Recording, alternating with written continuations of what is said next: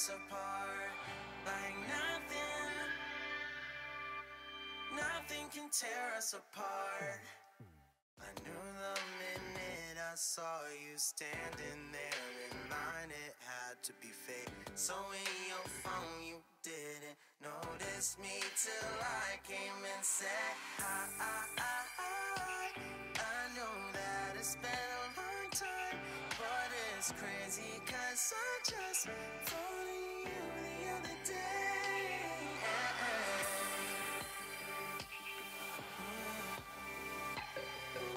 takes long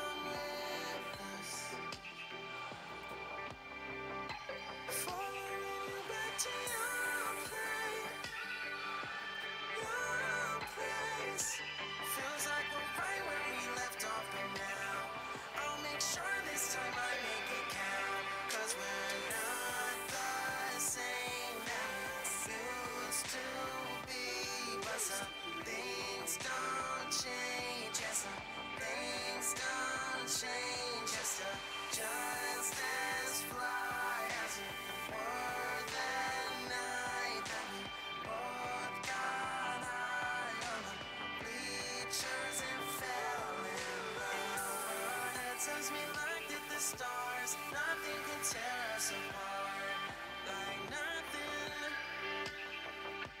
nothing can tear us apart.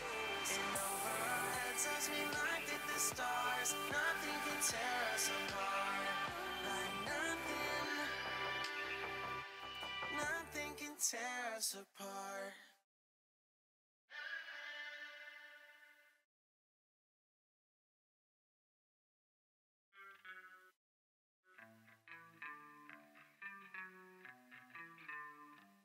Baby is always late.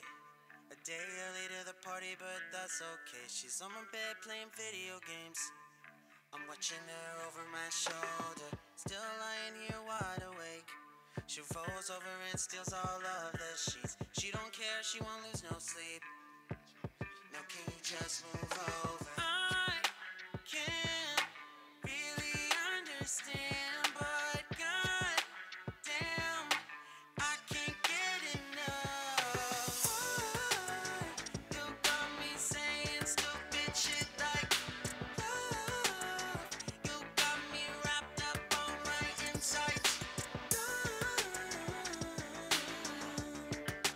네, 여러분. 지금 내외 귀빈들께서 입장하고 계십니다. 큰 박수로 맞이해 주시기 바랍니다. 네, 제19회 서울국제전력시장 컨퍼런스 오늘의 행사를 주최해 주신 전력거래소 정동희 이사장님과 전기위원회 이종영 위원장님, 산업통상자원부 천영길 에너지정책실장님을 비롯한 주요 내빈분들께서 앞 좌석으로 이동해 주셨습니다. 여러분 다시 한번 따뜻한 환영의 박수 부탁드리겠습니다.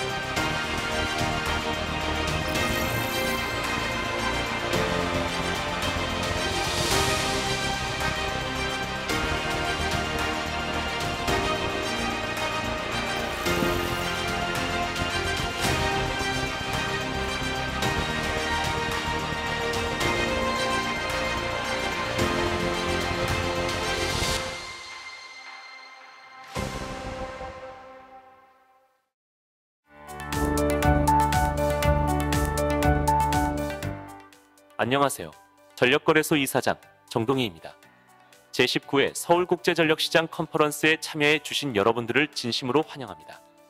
이 자리를 통해 최근 전력시장 현안과 혁신 방안에 대한 활발한 논의가 이루어져 미래 전력 산업이 더욱 발전할 수 있는 계기가 되기를 희망해 봅니다. 그럼 지금부터 제19회 서울국제전력시장 컨퍼런스를 시작하겠습니다.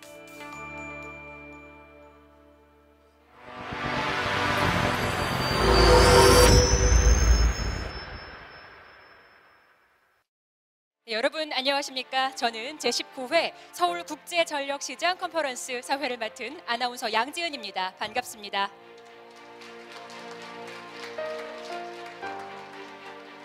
네, 전력거래소 정동희 이사장님께서 특별히 가상 캐릭터로 등장을 하셔서 이번 컨퍼런스의 문을 열어주셨는데요. 깔끔한 수트를 차려입은 실제와 같이 젠틀한 모습으로 하지만 목소리는 조금 더 젊은 네, 그런 아바타를 통해서 개회 선언을 해주셔서 조금 더 새롭고 특별한 시작이 아니었나 생각합니다. 자, 이제 본격적으로 컨퍼런스를 시작해 볼 텐데요.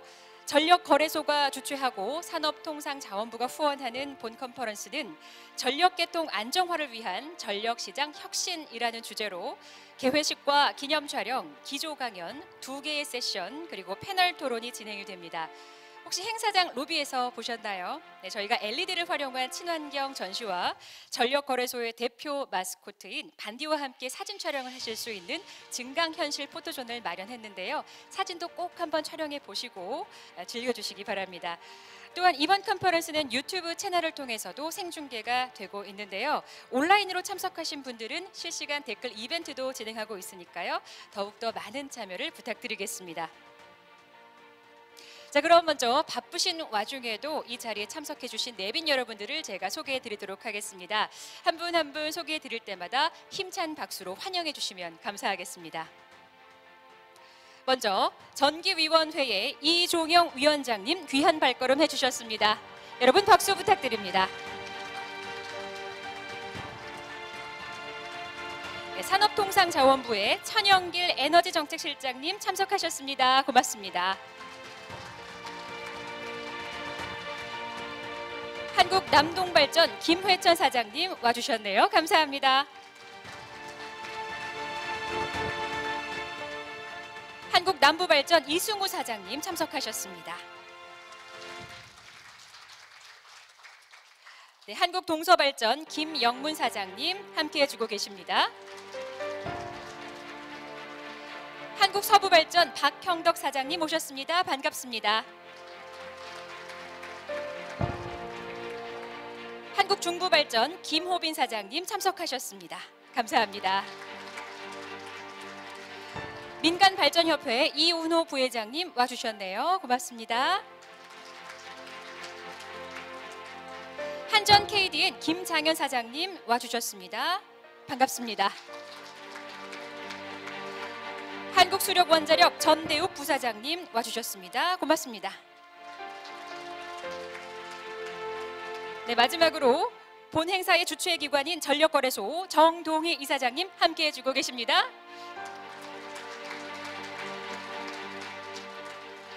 네, 이 밖에도 이 자리 빛내주시기 위해 많은 분들을 함께하고 계신데요. 시간 관계상 일일이 소개해드리지 못하는 점 너그러운 마음으로 양해 부탁드리겠습니다. 자, 그럼 전력거래소 정동희 이사장님을 무대 위로 모시고 개회사부터 청해 들- 듣도록 하겠습니다. 여러분 정동희 이사장님을 큰 박수로 맞이해 주시기 바랍니다.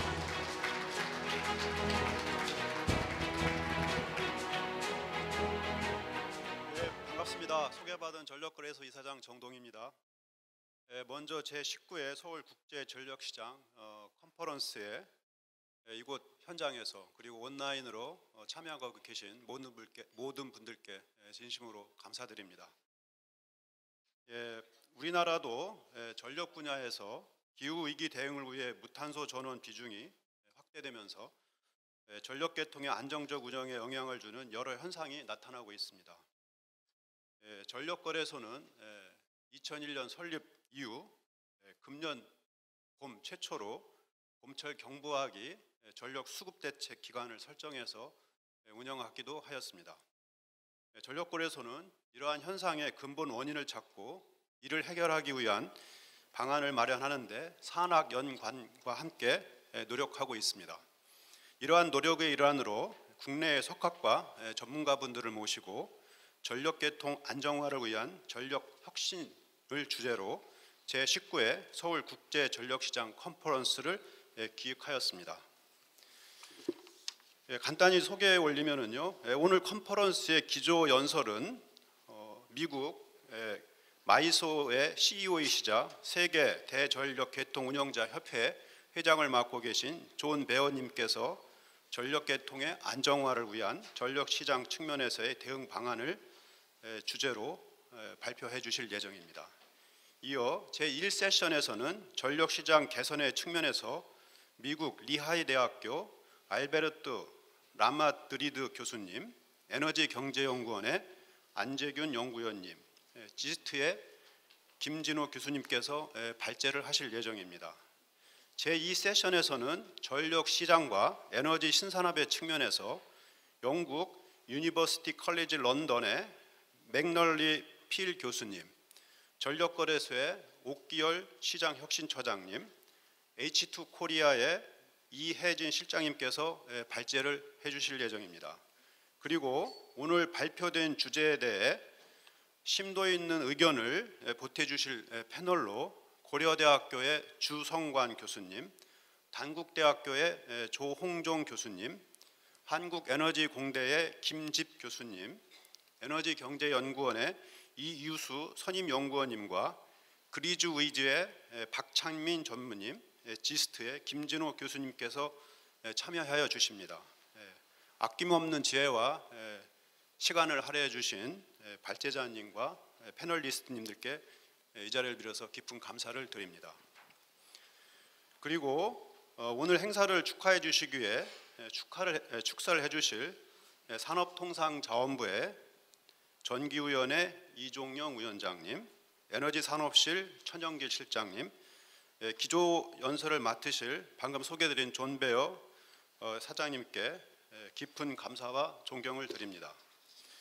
그리고 예, 전력산업의 최일선에서 역동적으로 현장 경영을 하고 계신 남동발전 김 김혜천 사장님, 남부발전 이승우 사장님, 동서발전 김영문 사장님, 서부발전 박형덕 사장님, 중부발전 김호빈 사장님, 한전 KDN의 김장현 사장님, 민간발전협회 이훈호, 이운호 부회장님께도 예, 각별한 감사를 드립니다. 그리고 예, 이 자리에 참석하여 주신 모든 분들께 예, 다시 한번 예, 깊은 감사를 드립니다.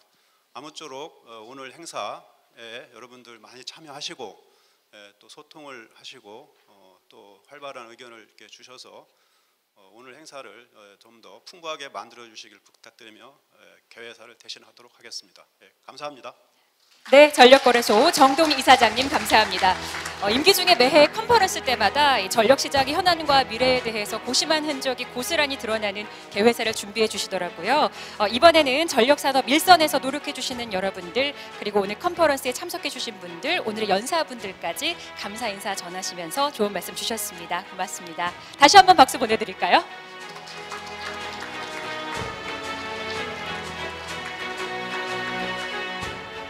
네, 이번에는 전기위원회 이종영 위원장님의 축사를 이어서 듣도록 하겠습니다. 이종영 위원장님을 무대 위로 모시겠습니다. 여러분 따뜻한 박수로 모시겠습니다.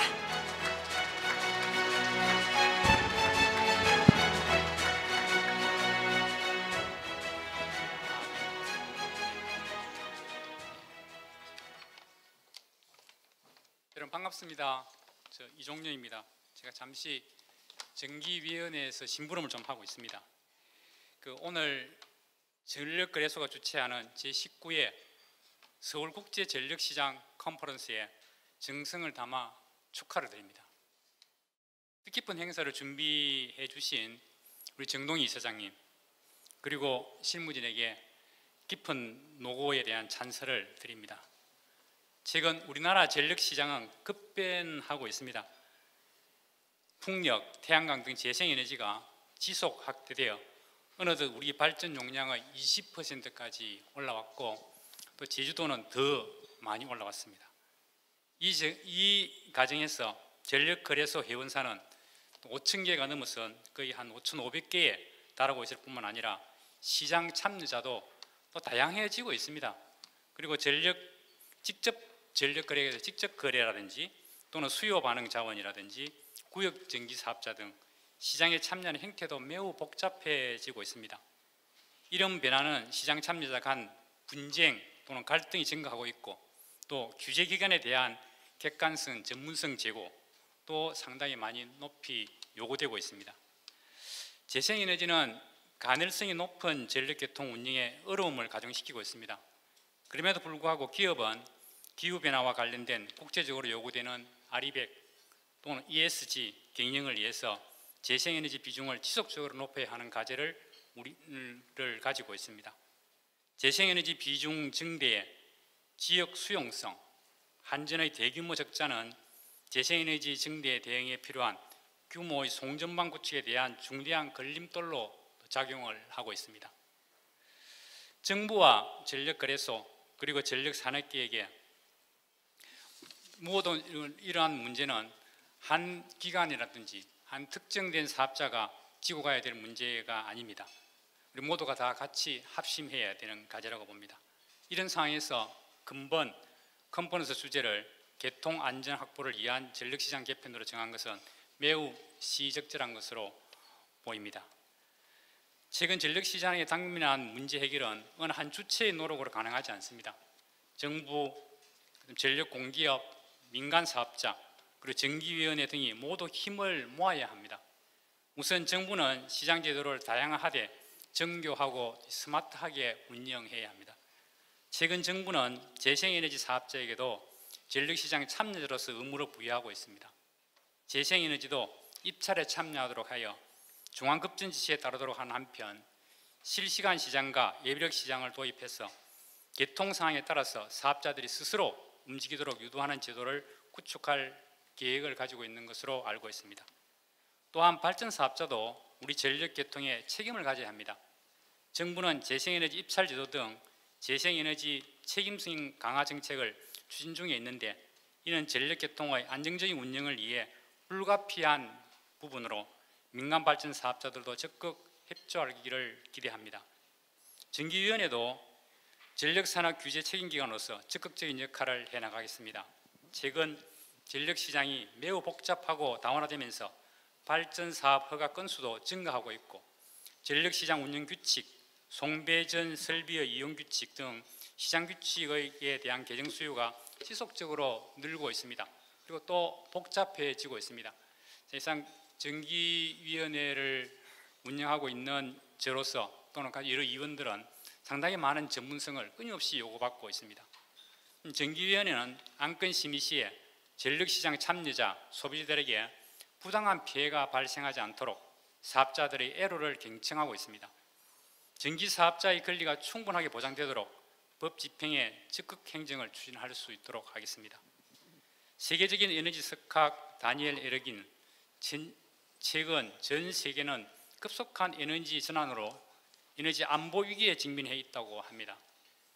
우리는 글로벌 국가 중에서도 에너지 전환 속도가 가장 빠른 나라로 실제 위기가 발생할 가능성이 매우 높은 국가 중의 하나입니다. 이럴 때일수록 시장 참여자 간에 서로 공동 책임을 가지고 보다 국내의 전력 개통 안전에 함께 협력하는 것이 선진국에서 사업자의 행위의 방향이라고 저희들은 판단하고 있습니다. 금일 컨퍼런스는 전력 시장 전반에 미치는 영향 그리고 과제를 확인하는 매우 중요한 시간이 될 것으로 생각합니다. 정기위원회도 이러한 변화에 면밀히 검토해서 국내 전력 시장이 안정적으로 운영될 수 있도록 만전을 기하겠습니다. 다시 한번 컨퍼런스를 축하드리고 경청해 주신 여러분에게 감사를 드립니다. 네, 이종경 위원장님 좋은 말씀 감사합니다. 국내 전력 시장 그리고 수소 경제 성장에 큰 역할을 해주고 계시고요. 전기 에너지 분야의 분쟁이라던가 수소 산업 발전을 위해 민관 가교 역할에 앞장서주고 계신 분입니다. 말씀 잘 들었습니다. 고맙습니다. 다음으로는 산업통상자원부 천영길 에너지정책실장님의 축사가 있겠습니다. 그럼 천영길 실장님을 무대로 모시도록 하겠습니다. 여러분 큰 박수 부탁드립니다.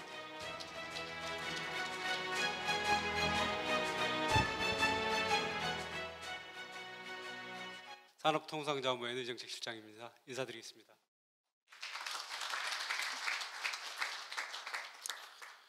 사실 국제 전력 시장 컨퍼런스 제가 여러 차례 과거에 제가 전기원에도 근무를 했었고 또 전력과에도 근무했었고 또 전력 개통과장으로도 있으면서 어, 여러 차례 왔었어야 되는데 사실 19년 만에 온 것 같습니다. 죄송하게 생각하고 그래도 어, 20년이 되기 전에 내년에 20주년 큰 행사하기 전에 어, 오게 돼서 다행으로 생각하고 방금 뭐 이사장님도 말씀하시고 위원장님도 말씀하시고 어, 굉장히 하여튼 과거에 제가 있었을 때 과거에 제가 직원 시절에 있었을 때하고 지금은 천양지 차인 것 같습니다. 정말로 당시 사업자 수 당시에는 이제 전통 화력 중심 공기업 중심으로 이렇게 돼 있었다고 하면 지금은 정말 아, 시장은 그렇게 따라가지는 못했지만 사업자 수로만 보면은 정말 민간 사업자들이 압도적으로 굉장히 많이 있는 것 같습니다. 그래서 저희가 과거에는 체계적으로 준비를 할 수 있었고 또 체계적으로 뭐랄까요 통제가 됐었다고 하면 지금은 그런 부분들에 대해서 불확실성 문제가 가장 큰 도전적인 과제이고 그럼에도 불구하고 이런 재생에너지 소중한 전기들이기 때문에 그런 부분들이 시장 친화적으로 개통해서 흡수가 되고 또 국민들께 전달이 되어야 되는 그런 중요한 상황인데 아, 오늘도 주제가 굉장히 어려운 것 같습니다. 그 주제를 담아서 국제화가 돼야 되는데 저희가 다른 것들은 많이 국제화가 됐는데 전력 시장 면에 있어서는 좀 국제화 부분에 있어서 좀 분발을 해야 되지 않겠나 그런 생각이 좀 들고 있고 제가 어, 이 재생에너지에 대해서는 이제 늘 저희 정부 차원에서 원전 재생에너지 다양한 무탄소 전원들이 저희 시장하고 개통해서 조화롭게 이렇게 어, 전원 믹스가 될 수 있도록 저희가 해야 되는데 그런 질서 있는 과정을 지금 해가는 과정이 있고 그 다음에 이제 재생에너지 같은 경우에 여러 가지 이제 기술적인 문제 아까 오찬 때 저희 정동희 이사장님이 기자 우리 아나운서 분이 맑음이라고 해서 굉장히 놀랬다고 그러시더라고요. 맑음이라고 하면 저희 전력개통 당국자 여러분들께서 이 태양광들이 워낙 많이 나오다 보니까 제어 부분을 어떻게 할지 그 다음에 혹시 어, 인버터 때문에 또 탈락 현상이 일어날지 그런 부분들 때문에 아마 그런 표현이 아닌가 그런 생각이 좀 드는데 저희도 앞서서 정기원의 위원장님께서도 말씀하셨지만 아, 조금 더 규제 체계라든지 이런 부분들이 좀 정밀해지고 정교해지고 그럴 필요가 있긴 있는데 아직까지는 좀 덜 돼 있는 부분이 좀 있습니다. 오늘 어, 또 주제 발표 때 글로벌 동향도 그렇고 또 많은 전문가들 분들께서 좋은 말씀들 해주실 것으로 생각을 하고 있고 또 저희도 마침 이런 규제 거버넌스 특히 무슨 아, 시스템적인 측면, 시장이라든지 계통적인 측면 이런 부분들에 있어서 가급적이면 시장 참여자들이 경제적 행동을 할 수 있도록 그런 부분들을 최대한 반영을 하려고 지금 현재 국정과제에도 반영이 돼 있고 또 연구 영역도 마무리가 돼 있고 문제는 이제 이거를 정책으로 위반하는 그런 과정이 좀 남아 있는 것 같습니다. 그래서 오늘 주신 말씀들 많이 경청하고 또 전달해 주시면 저희가 어, 하반기 또 내년 초 이런 아마 계속 지금도 저희가 시장 운영 규칙도 그렇고 아마 송배전 이용 규정도 그렇고 비용 평가 규정이라든지 어쨌든 이게 뭔가 계속 업데이트를 해 나가는 과정이 있는 것 같습니다. 그런 과정에서 이 시장 참여자들이 가급적 가급적이면 공정하게 시장에서 행동할 수 있고 또 보상받을 수 있고 또 시장의 원리에 충실하게 따를 수 있도록 그다음에 시장의 룰에 수용 가능성 이런 부분들을 높일 수 있도록 최대한 노력을 하겠습니다. 어쨌든 오늘 행사 준비해 주신 그래서 이사장님하고 또 발전소 발전회사 사장님들이 다섯 분이나 다 오셨더라고요. 굉장히 귀한 걸음 하신 것 같습니다. 그만큼 관심이 높은 것 같고요. 전문가분들께서 좋은 말씀 해주시고 또 저희는 행동하는 사람들로서 잘 이행을 하도록 하겠습니다. 고맙습니다. 네, 정부에서 실현 가능한 에너지 정책 수립에 많은 노력 기울여 주고 계시죠. 네, 산업통상자원부 천영길 에너지 정책 실장님의 축서였습니다. 어, 실장님 제 오찬 멘트는 좀 더 먼 미래로 긍정적으로 좀 생각해 주시면 감사하겠습니다. 아, 네, 이번에는요. 제19회 서울국제전력시장 컨퍼런스를 기념하기 위한 기념 촬영이 있겠습니다. 기념 촬영은 총 2회로 진행이 될 텐데요. 지금 제가 호명하는 내빈분들은 무대 위로 올라와 주시면 되겠습니다. 자, 전력거래소 정동희 이사장님 올라와 주시고 전기위원회 이종영 위원장님 또 산업통상자원부 천영길 에너지정책실장님 전력거래소 양성배 본부장님 전력거래소 김상일 본부장님, 에너지경제연구원의 안재균 연구위원님, 광주과학기술원의 김진호 교수님, 전력거래소의 옥기열 처장님까지 지금 바로 무대 위로 올라와 주시면 되겠습니다. 네, 안내 요원의 안내에 따라서 조금 부담스러우실 것 같아요. 사진 촬영이 그렇죠? 좀 사진 촬영하실 때 어, 미소를 보일 수 있도록 여러분 응원의 박수 한번 보내주실까요? 네. 네. 준비가 됐으면 사진 촬영 진행해도 될까요? 네, 먼저 제가 하나 둘 셋 할 텐데요. 자, 웃으셔야죠. 자, 미소 짓고 들어가겠습니다. 정면에 카메라 바라봐 주시고요. 하나, 둘, 셋. 네, 촬영한 것 같고요. 한 번 더 할게요. 화이팅 어떠신가요? 괜찮으세요? 네, 화이팅! 이 포즈도 같이 해주세요. 화이팅! 포즈와 함께 들어가겠습니다. 자, 하나, 둘, 셋! 화이팅! 좋습니다. 네, 박수 부탁드립니다. 네, 잠시만 자리에 계셔주시면 감사하겠습니다. 두 번째 기념 촬영 진행할 텐데요. 무대 위에 계신 분들 들어가시면 안 되고 잠시만 대기해 주시고 다시 제가 또 호명을 하겠습니다. 호명되시는 분 앞으로 나와 주시기 바랍니다.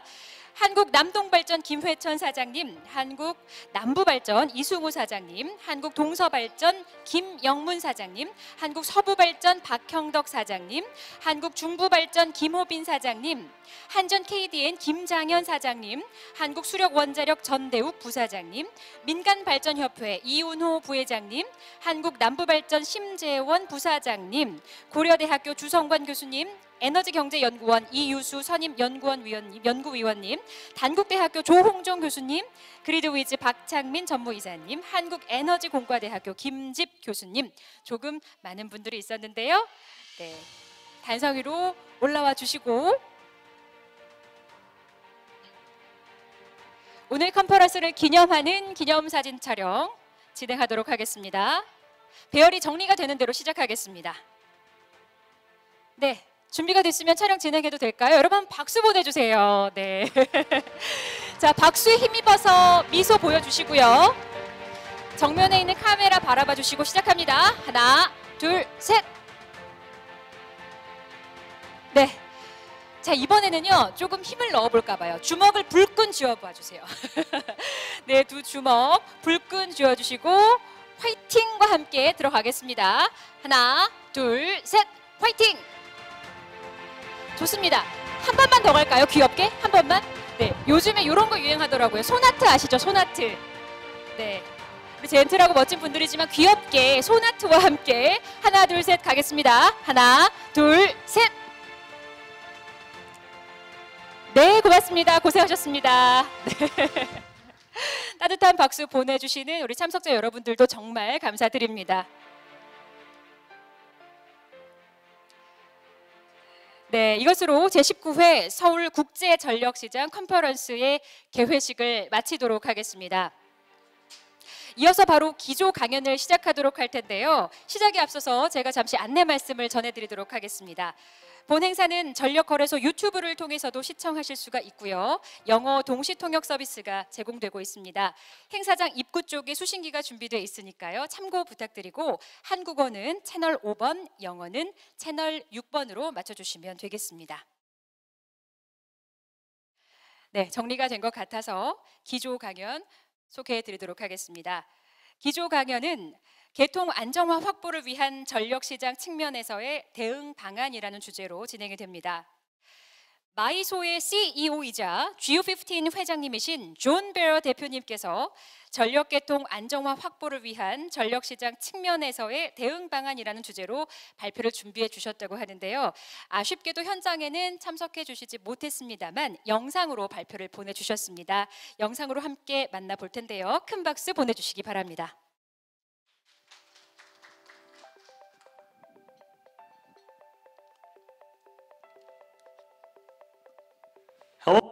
안녕하십니까. 제19회 서울국제전력시장 컨퍼런스에 오신 여러분 환영합니다. 미 전력망 운영기관인 MISO의 CEO 존 베어입니다. 마이소는 약 250만 평방킬로미터에 달하는 미 중부 건역과 캐나다 일부 지역을 관리하고 있습니다. 저희는 약 4,500만 명의 소비자들에게 공급되는 전력 조류를 관리하고 있고 에너지 시장에서 저희의 연간 거래 규모는 400달러 이상, 400억 달러 이상입니다. 개인적으로 올해 GOP15의 의장을 맡게 되어 영광으로 생각합니다. GOP15는 세계 최대 전력망 운영기관 협력체입니다. GOP15의 회원들은 전 세계 전 세계 에너지 소비자 50% 이상에게 전력 조류를 공급하고 있습니다. 현재 전 세계적으로 지역별 특성에 따라 다양한 전력망과 전기 발전원이 사용되고 있습니다. 그리고 우리 모두는 비슷한 도전 과제에 직면해 있고 공동의 미래를 향해 나아가고 있습니다. 그 어느 때보다도 협력의 필요성이 커지고 있고 전력망 운영에 관한 지혜를 모아야 할 때입니다. 전 세계적으로 전력망은 이전에 보지 못했던 대대적인 변화를 겪고 있습니다. 기상 여건에 따라 달라지는 에너지원이 빠르게 확산되고 급전이 가능한 유연성 자원이 생각보다 조기에 퇴출되고 있습니다. 동시에 전기 수요는 증가하고 있는데 특히 수송 분야에서 빠르게 증가하는 것을 우리는 목도하고 있습니다. 기후 변화는 전력망과 우리 사회에 직접적인 영향을 미치고 있습니다.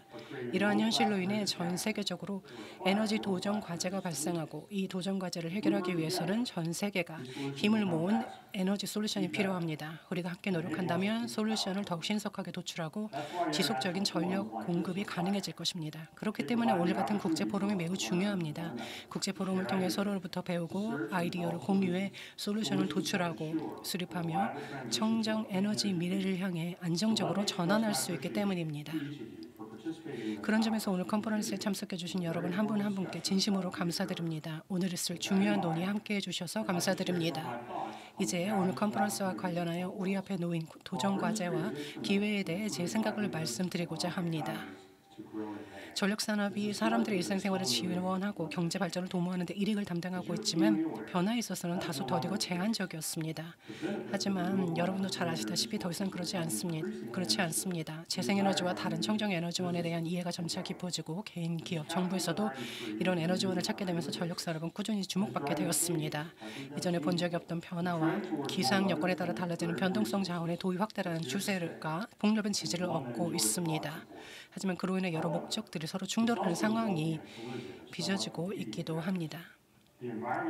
기업과 정부는 환경적 지속 가능성이라는 목표를 바탕으로 수송 수단의 대대적인 진화를 추진하고 있습니다. 그렇다고 해서 우리 사회가 안정적이고 적정한 가격의 전기를 필요로 한다는 사실이 사라지지는 않습니다. 안정적이고 적정한 가격의 전기를 공급하는 목표를 실현하기 위해서는 사각지대가 발생하는 일이 없도록 해야 합니다. 장기간 또한 심각한 신뢰도의 문제로 감당하기 어려운 비행이 발생한다면 청정 에너지 미래에 대한 지지와 그 미래를 위한 모멘텀이 영향을 받을 수도 있습니다. 그래서 폭넓은 참여와 조율이 업계 내부 외부적으로 필요하고 이러한 노력을 통해 청정 에너지 전환 과정에서 나타나는 리스크와 도전 과제에 대응해 나가야 합니다. 여기서 중요한 것이 바로 시장 설계입니다. 전력 시장은 빠르게 변하는 에너지 산업의 현황에 발맞추어 변화를 반영하며 설계되어야 합니다. 에너지 시장은 전력 계통을 규정하는 데 있어서 적절한 자원을 확보하는 데 있어서 중요한 역할을 하고 있습니다. 몇년 전까지만 하더라도 신뢰성과 적정한 가격을 확보해 주었던 설계는 현재의 도전 과정에 대응하기에는 미래의 needs를 충족시키기에는 부족합니다. 미국 내 다양한 지역에서도 전환이 일어나고 있습니다만 전국적으로 보자면 비슷한 변화가 나타나고 있고 이러한 변화는 전 세계 다른 지역에서도 나타나고 있습니다.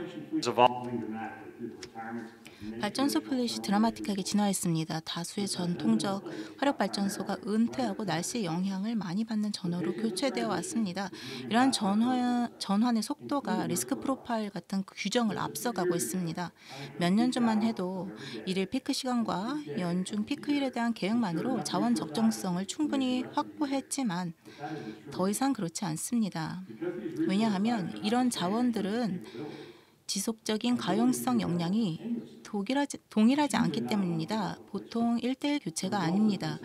그 결과 신뢰성 리스크가 크게 증가하였고 시스템이 필요한 속성을 가진 자원은 감소하고 있습니다. 이러한 상황에서 전기 수요는 대대적인 증가가 예상되고 있습니다. 전기화가 탄력을 받고 있기 때문입니다.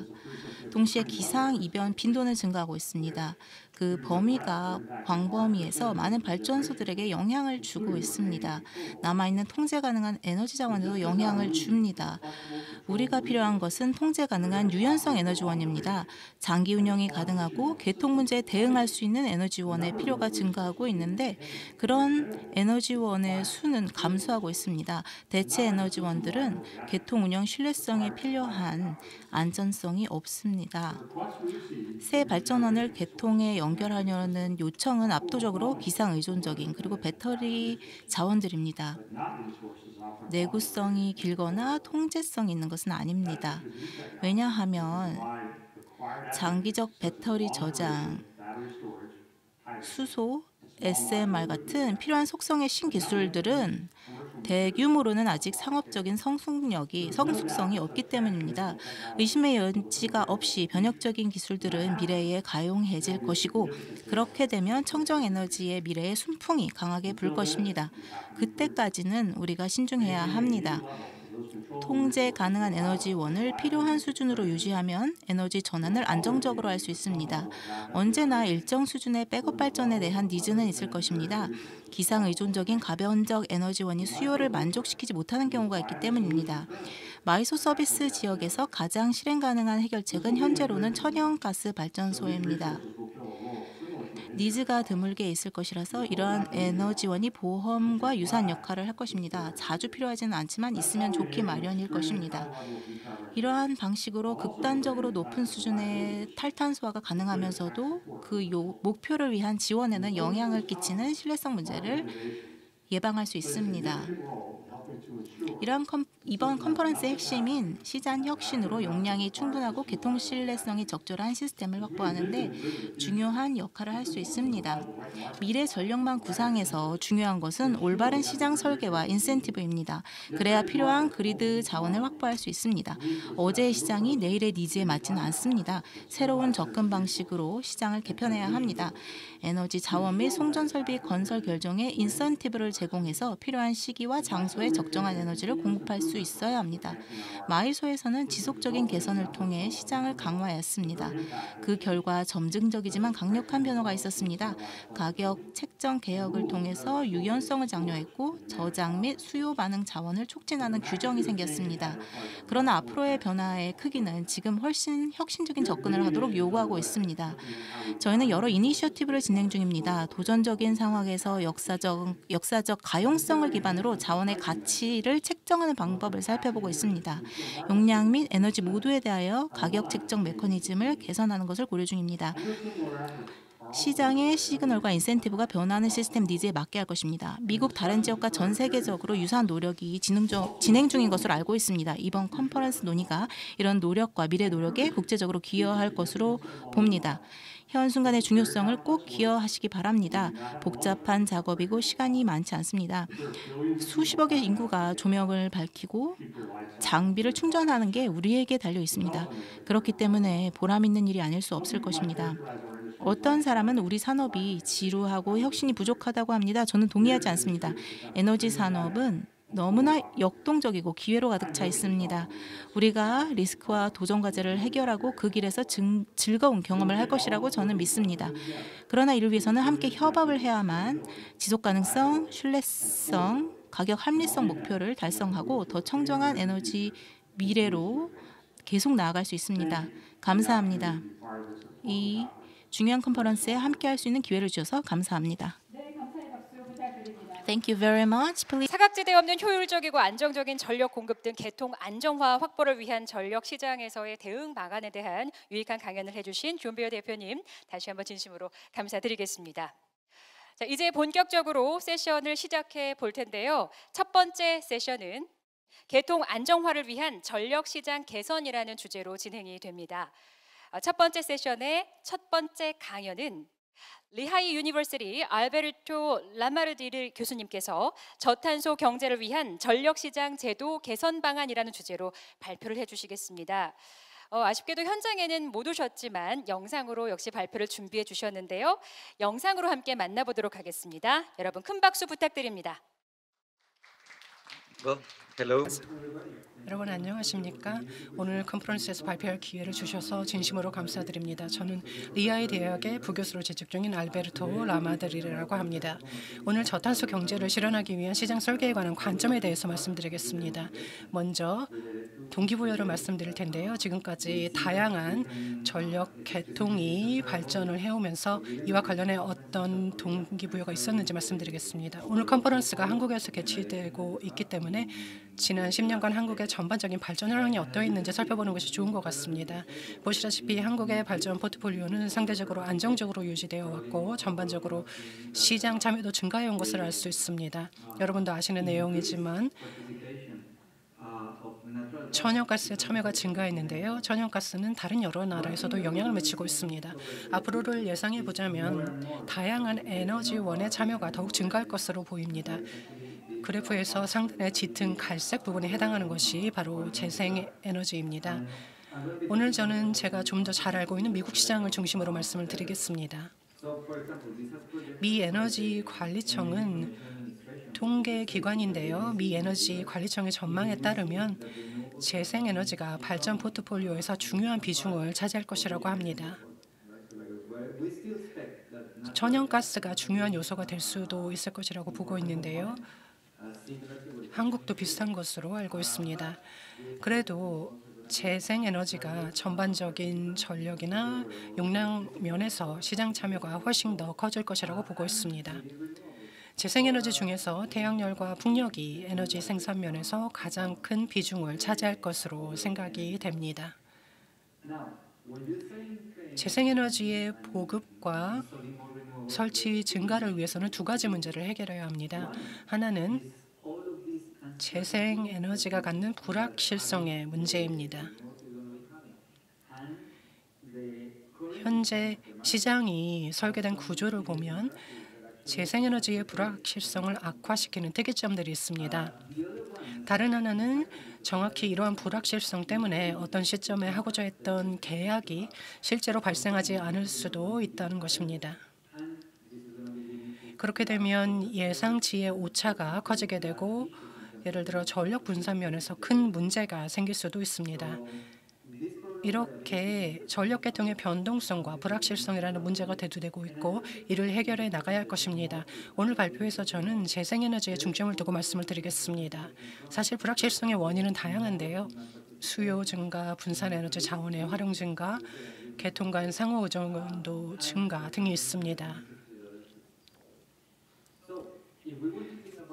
저탄소 경제 실현을 위한 방향성을 생각해 볼 때 앞으로 전기가 다른 에너지 서비스를 대체할 가능성이 높아질 것으로 보입니다.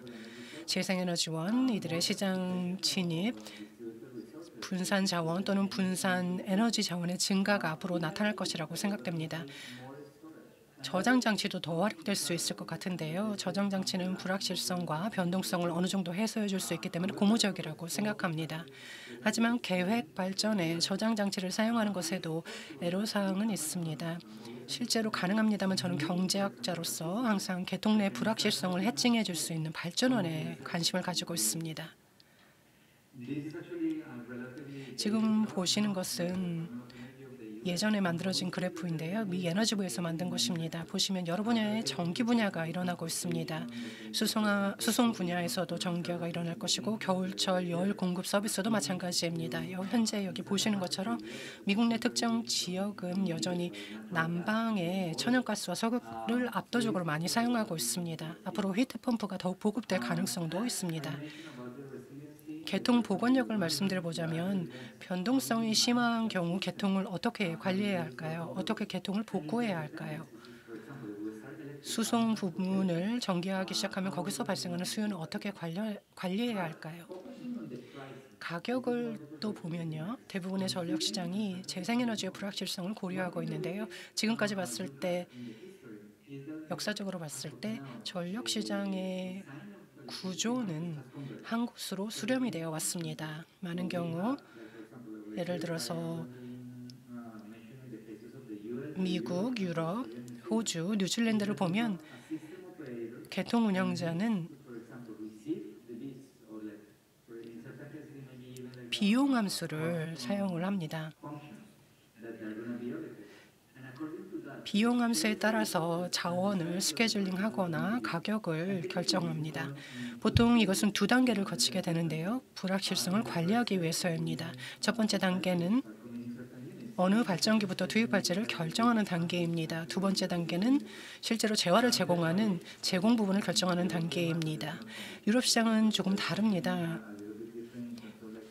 기동 정지 계획이라는 것이 없어서 발전 계획의 재수립, rescheduling 면에서 조금 다릅니다. 하지만 가장 중요한 것은 가격은 시장에 참여하는 발전원을 중심으로 한다는 것입니다.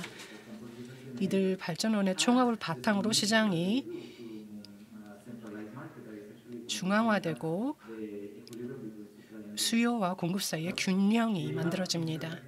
어떤 경우에는 수요 자원의 시장 참여가 있습니다. 미국도 이러한 경우가 있는데요. 이것을 부하 공급 사업자 LS라고 부릅니다.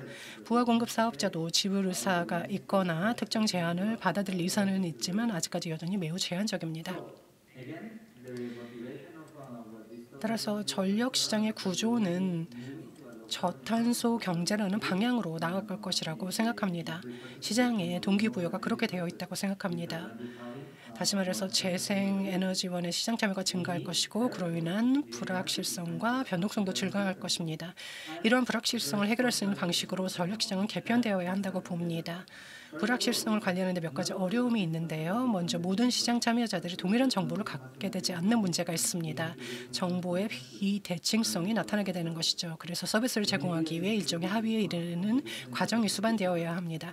또 시장 참여자별로 대응력이 다를 수 있습니다. 단순히 에너지를 제공하는 서비스에 그치지 않고 전력 개통을 운영하는 데 필요한 보조 서비스도 잘 유지해야 할 것입니다. 그렇다면 여기서 중요한 것은 어떻게 하면 시장이 가격을 결정할 때 재생에너지원의 불확실성과 변동성을 고려하고 몰수 형태를 띠지 않도록 설계할까 하는 것인데요. 시장 참여자는 손해를 봐서는 안 될 것입니다. 사회적 계약이라는 것이 그런 것이죠. 그런 점을 바탕으로 오늘 발표를 통해서 어떻게 하면 경제적인 면에서 적정한 가격제를 수립할 수 있을지 실시간으로 불확실성을 균일화할 수 있는 전략적인 방법에는 어떤 것이 있을지 말씀드려보겠습니다. 개괄적으로 보면 아주 일반적인 수준인데요. 이 방법을 사용했을지 결과에 대해서 간략하게 말씀을 드리자면 먼저 여러 가지 장점을 누릴 수 있습니다. 제한적인 정보만 사용하기 때문에 의견 일치가 쉽습니다. 시나리오를 사용하실 필요가 없고요. 실제 가격에는 불확실성의 균일화가 적용이 되어서 적절한 경제성이 보장이 됩니다. 그렇게 되면 효율적 배분이 증가하고 잉여 용량은 감소하게 될 것입니다. 그런데 여기서 트레이드 오프가 있습니다. 먼저 경제적 측면에서 적정한 가격제를 이루려면 가격 인상이라는 결과가 초래될 수도 있습니다. 또 새로운 시스템으로 체계로 전환하는 과정에서 조직 구조상 어려움이 발생할 수도 있습니다. 그래서 먼저 배경을 설명드리고자 하는데요. 적절한 가격을 찾는다는 것은 어려운 일입니다. 고유의 가격대를 형성하지 못할 수도 있습니다. 대부분의 경우 앞서 말씀드린 불확실성 때문인데요. 이외에도 비볼록형 문제가 있습니다. 특히 기존의 기술에 의존하고 있던 발전기라면 이 문제는 더 부각이 될 것입니다. 여러분이 원하는 가격을 사용하는 경우에는 그에 따른 또 다른 특징이 있을 것입니다. 예를 들어서 균형 가격을 사용하길 원하실 수도 있겠고요. 저는 오늘 매출 적정 가격을 사용하도록 하겠습니다. 배경 자료로 보실 만한 문헌은 시장이 어떻게 개편되어 있는가를 다루고 있는데요. 이에 대해서는 다음 슬라이드에서 좀 더 자세하게 설명드리겠습니다. 대부분의 학계 문헌을 보면 우연성을 반영하는 것에 많은 관심을 두고 있습니다. 화면에서 보시는 것처럼 주성대 가격 책정 방식이나 적정 가격, 세미 라그랑주 완화법 등이 제한이 되어 왔습니다. 예를 들어 비볼록성이 나타날 것으로 가정한다면 비볼록성을 가격에 반영을 하고 부가 정상금을 최소화하는 방법을 고안해 볼 수 있습니다. 이외에 왈라스 균형도 있고요. 특히 부가 정상금을 최소화할 수 있는 방법도 있습니다. 전력 산업의 구조 재편은 한국도 비슷할 것으로 보이는데요. 주로 세 단계를 거칩니다. 첫 번째 단계는 자연적인 독점이라는 잘못된 오해에 관한 단계입니다. 규제 완화나 구조 재편을 통해서 이 자연적인 독점에 대한 오해를 해소하려는 노력이 있었습니다. 실제로 다른 시장에 참여하는 것이 가능하지 않다고들 많은 분들이 말씀을 하셨는데요. 그 점이 가장 어려울 점이 아닐까 싶습니다. 거기에 따른 위기도 있을 것이고요. 하지만 시장 구조 재편 과정에서 초기에 나타나는 어려움을 다 거치고 나면 재편된 시장을 개선하는 단계로 넘어갈 수 있, 있습니다. 그렇다면 이 과정을 효율적으로 만들어야 하는데요. 그리고 마지막 단계는 저희가 현재 와 있는 단계로 불확실성을 반영하는 단계입니다. 제가 앞서 말씀드린 발전원의 불확실성을 반영하는 단계죠.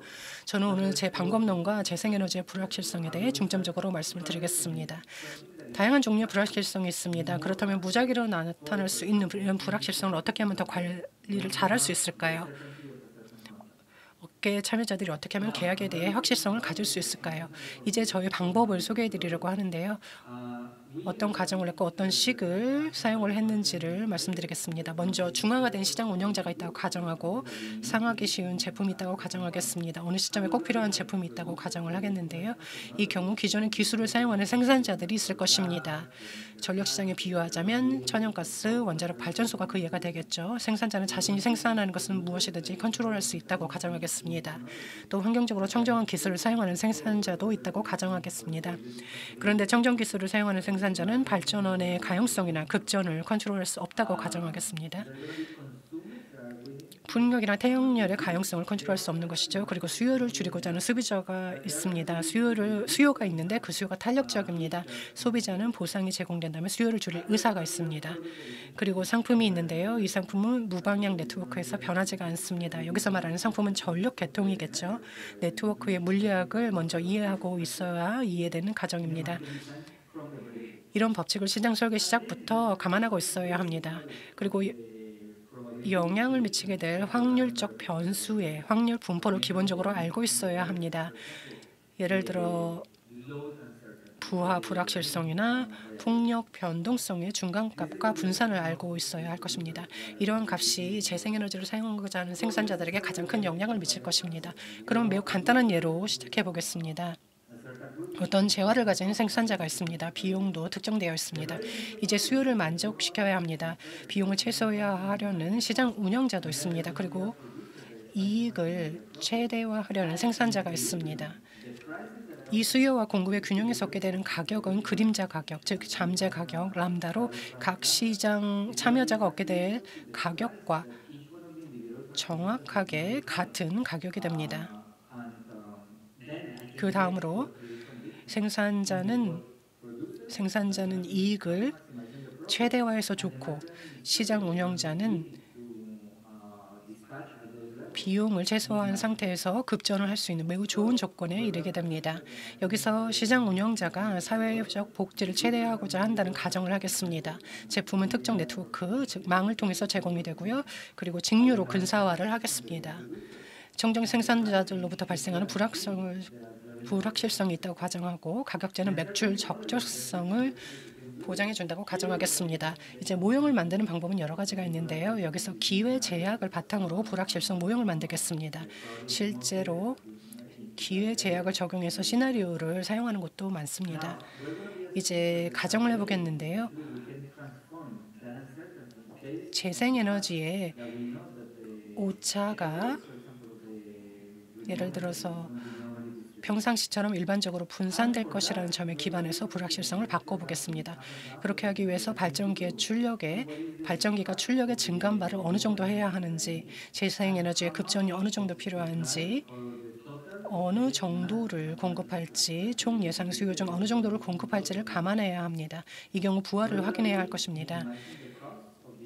에너지 비용, 출력 비용, 풍력 손실 비용 등은 최소화하고 그리고 주- 조달되지 않은 에너지에 대한 보상이 있는데 부하 손실값에 대한 보상이 될 수 있습니다. 그리고 운영 비용이 있습니다. 흔히 있는 것이죠. 모선에서의 제약 조건은 전형적인 제약 조건입니다. 이렇게 공급이 수요와 일치하도록 합니다. 하루 전 시장이나 실시간 시장에서도 그렇다고 가정을 합니다. 다음은 엣지나 네트워크 조류의 제약 조건입니다. 공급 측면의 제약 조건은 출력과 발전기의 한계와 관련이 있습니다. 수요 측면의 제약 조건은 특정 수요가 있고 특정 한계 내에 위치하고자 한다는 것입니다. 기본적으로 모든 부하를 다 확인하고자 하지는 않는다고 가정을 하겠습니다.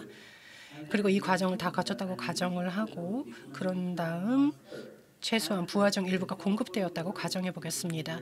그럼 모든 부하의 총 합은 0보다 클 것입니다.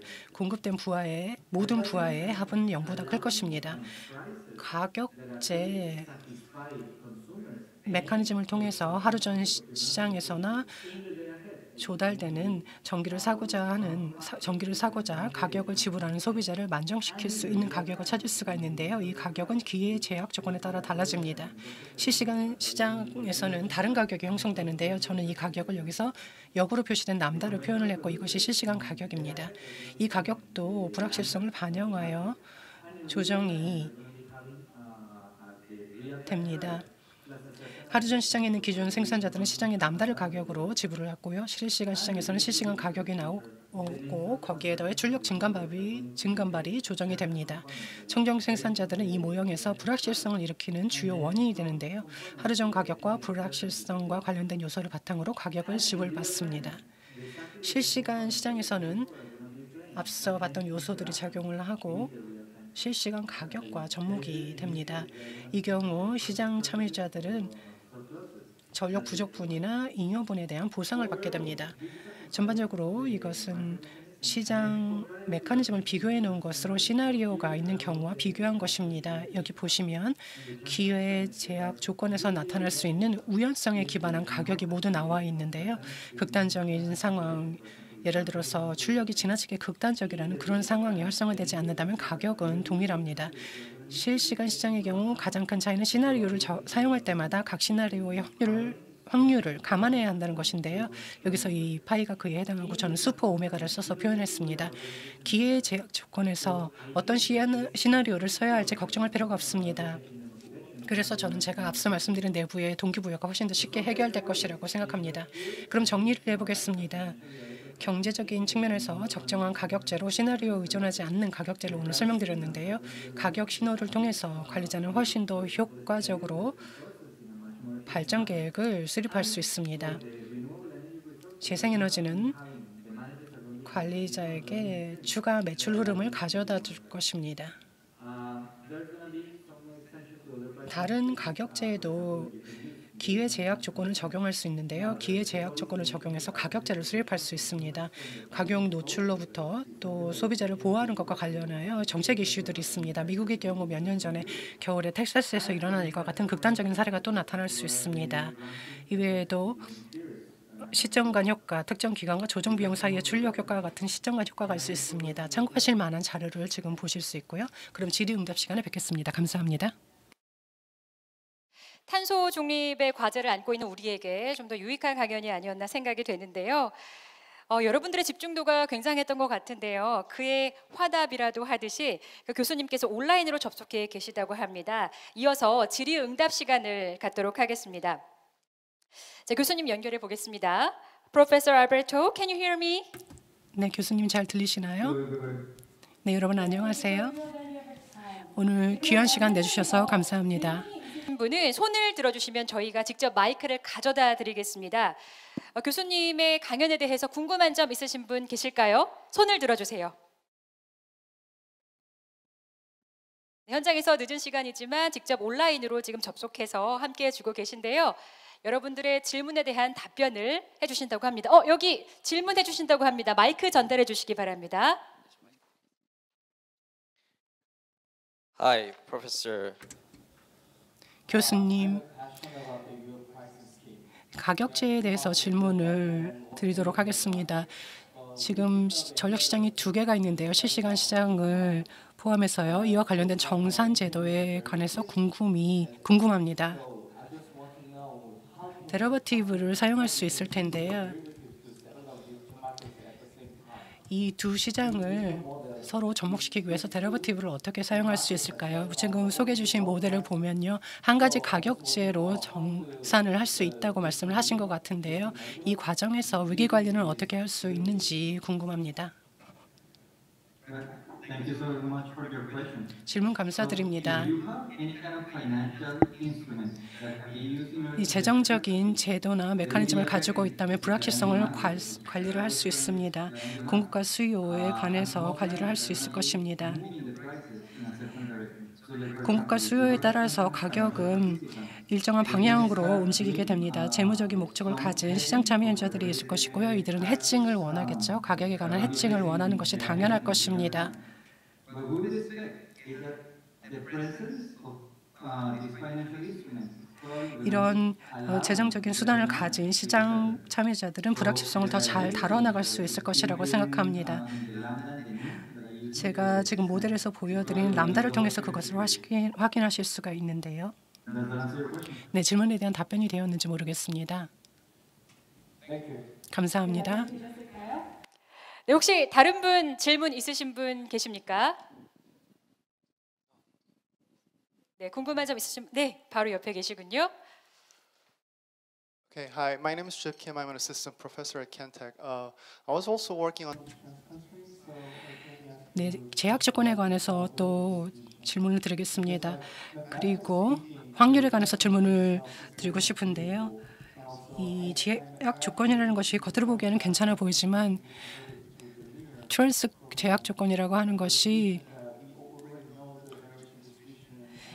발전량의 배분이라든지 그런 면에 있어서 이미 잘 정립이 되어 있다고 봅니다. 여기서 또 중요한 것은 저희가 유념해야 할 점은 확률 분포의 퀄리티를 유념하고 있어야 한다는 것입니다. 그래야만 모형이 저희에게 제시해주는 각각 자원에 대한 확률 분포를 정확하게 이해할 수 있기 때문입니다.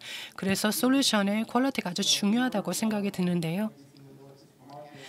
각각의 전력 시장이 이런 chance 제약 조건에 이미 노출이 되어 있고 이를 주지하고 있는데요. 좀더 정확한 재생에너지의 확률 분포를 알기 위해서 어떤 노력이 더 필요할까요? 아주 좋은 질문을 해주셨습니다. 일반적으로 말씀을 드려보자면 chance constraint 이 제약 조건을 저희가 사용하고 있는 것은 시나리오와 관련된 문제를 예방하기 위해서입니다. 그런 거기서 발생하는 문제를 겪지 않기 위해서입니다. 대부분의 시장 참여자들이 시나리오를 사용하고 있을지도 모르겠는데요. 시장 청산을 위해서 시나리오를 사용하고 있습니다. 그리고 실시간 문제를 해결하기 위해서 사용을 하고 있겠죠. 이 chance 제약 조건을 다뤄가는 데 있어서 불확실성을 해소하기 위해서 이것을 잘 다뤄야 한다는 것이 저희의 제1의 목적일 것입니다. 예측을 통해서 전반적인 불확실성 그리고 분배의 불확실성을 해소해 나가자, 나가고자 하는 노력이 있는데요.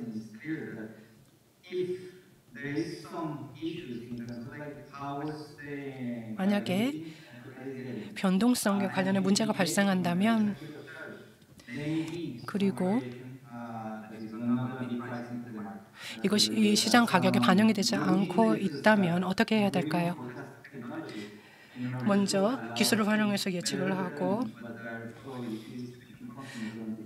확률 분포 함수를 좀 더 잘 예측을 할 수 있도록 해야 할 것입니다. 좋은 질문 감사드립니다.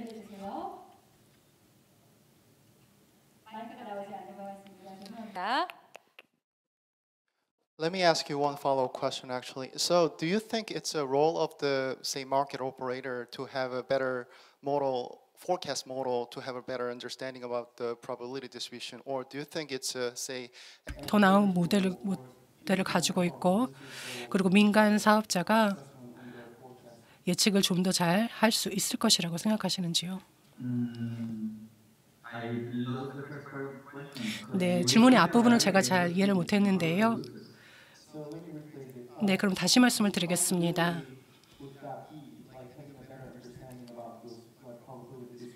확률 분포에 대해서 누가 더 잘 이해해야 할 책임을 가지고 있는 것일까요? 누가 확률 분포를 잘 이해하고 있어야 하는 것일까요? 이 정보는 낮은 수준에서 먼저 집계가 될 것입니다. 제가 다른 프로젝트에서도 이런 비, 유사한 문제에 직면을 했었는데요.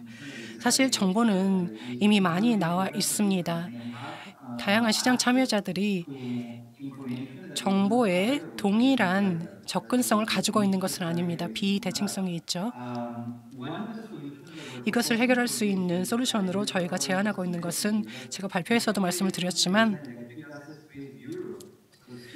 전기 액세스 관련된 bureau를 만드는 것입니다. electricity bureau를 사용하게 되면 정보가 재무적인 목적을 가진 시장 참여자들에게도 전달이 되고 새로운 운영 기관과 사업자들에게 전달이 되고 공유가 될 것입니다.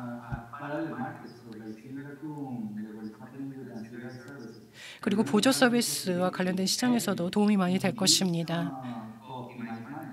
이렇게 최적의 값을 구할 수 있는 방식이 바로 뷰로라고 생각이 들고요. 이렇게 추가적인 정보가 좀 더 집계가 되고 취합이 돼서 시장 참여자들에게 좀 더 많은 도움이 될 것이라고 보고 생산자들에게도 큰 혜택이 갈 것이라고 봅니다. 질문 있으신 분 계실까요? 안 계신 걸로 확인이 되면 그럼 질의응답 시간 마무리 짓도록 하겠습니다. Thank you for the useful lecture and great answer. 네, 교수님 답변 감사드립니다. 다시 한번 감사드리면서 여러분 큰 박수 부탁드립니다. 네, 첫 번째 세션의 첫 번째 강연부터 여러분들의 관심과 참여가 대단한 것 같은데요. 남은 강연도 기대해 주시기 바랍니다.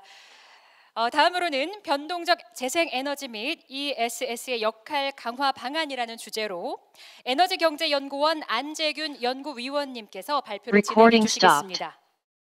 네, 안재균 연구위원님은 앞으로 와주시고요. 여러분들 큰 박수로 모시겠습니다.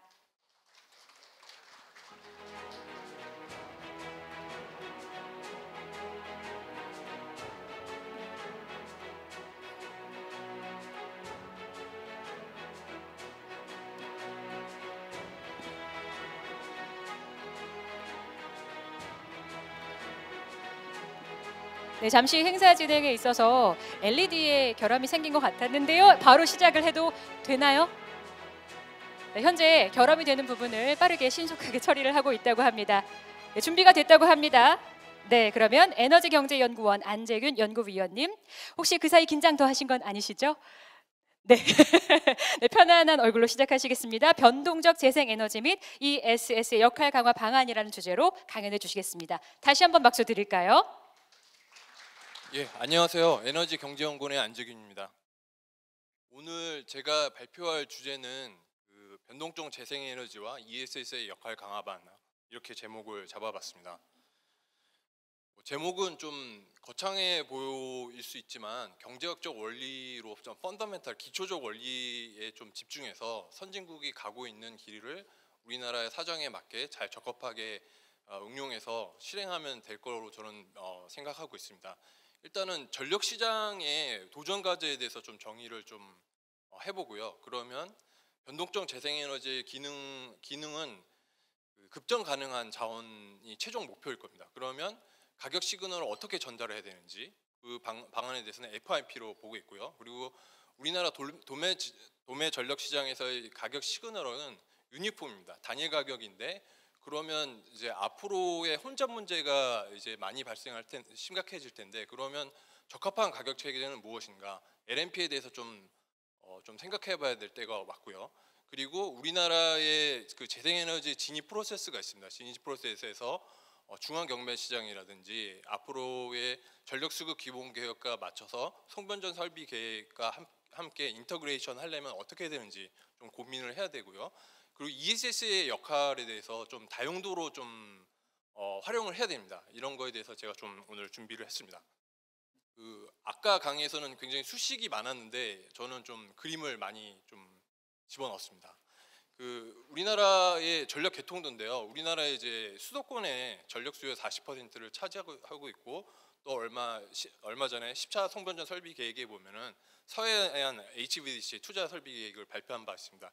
이게 왜 그러냐면 그 대부분의 전력 수요는 이제 수도권에 있고 또 공급 면에 있어서는 재생에너지의 그 경제성이 좋은 잠재량은 또 호남에 있습니다. 그래서 세 번째 그래프를 보면은 그 호남의 전력 수요와 전력 공급인데요. 이 전력 수요 전력 공급을 초과해서 한 두세 배 정도의 그 이제 잠재량이 호남권에 있기 때문에 여기에 그 재생에너지 투자가 되려면 권역의 권역 연계선로가 이제 증가하는 구조입니다. 그래서 이런 이런 이런 구조가 갖고 있기 때문에 망비용 송변전 비용이 54조가 이제 예, 소요될 전망인데 이런 망비용이 예, 크게 증가하는 보수적인 문제가 있습니다.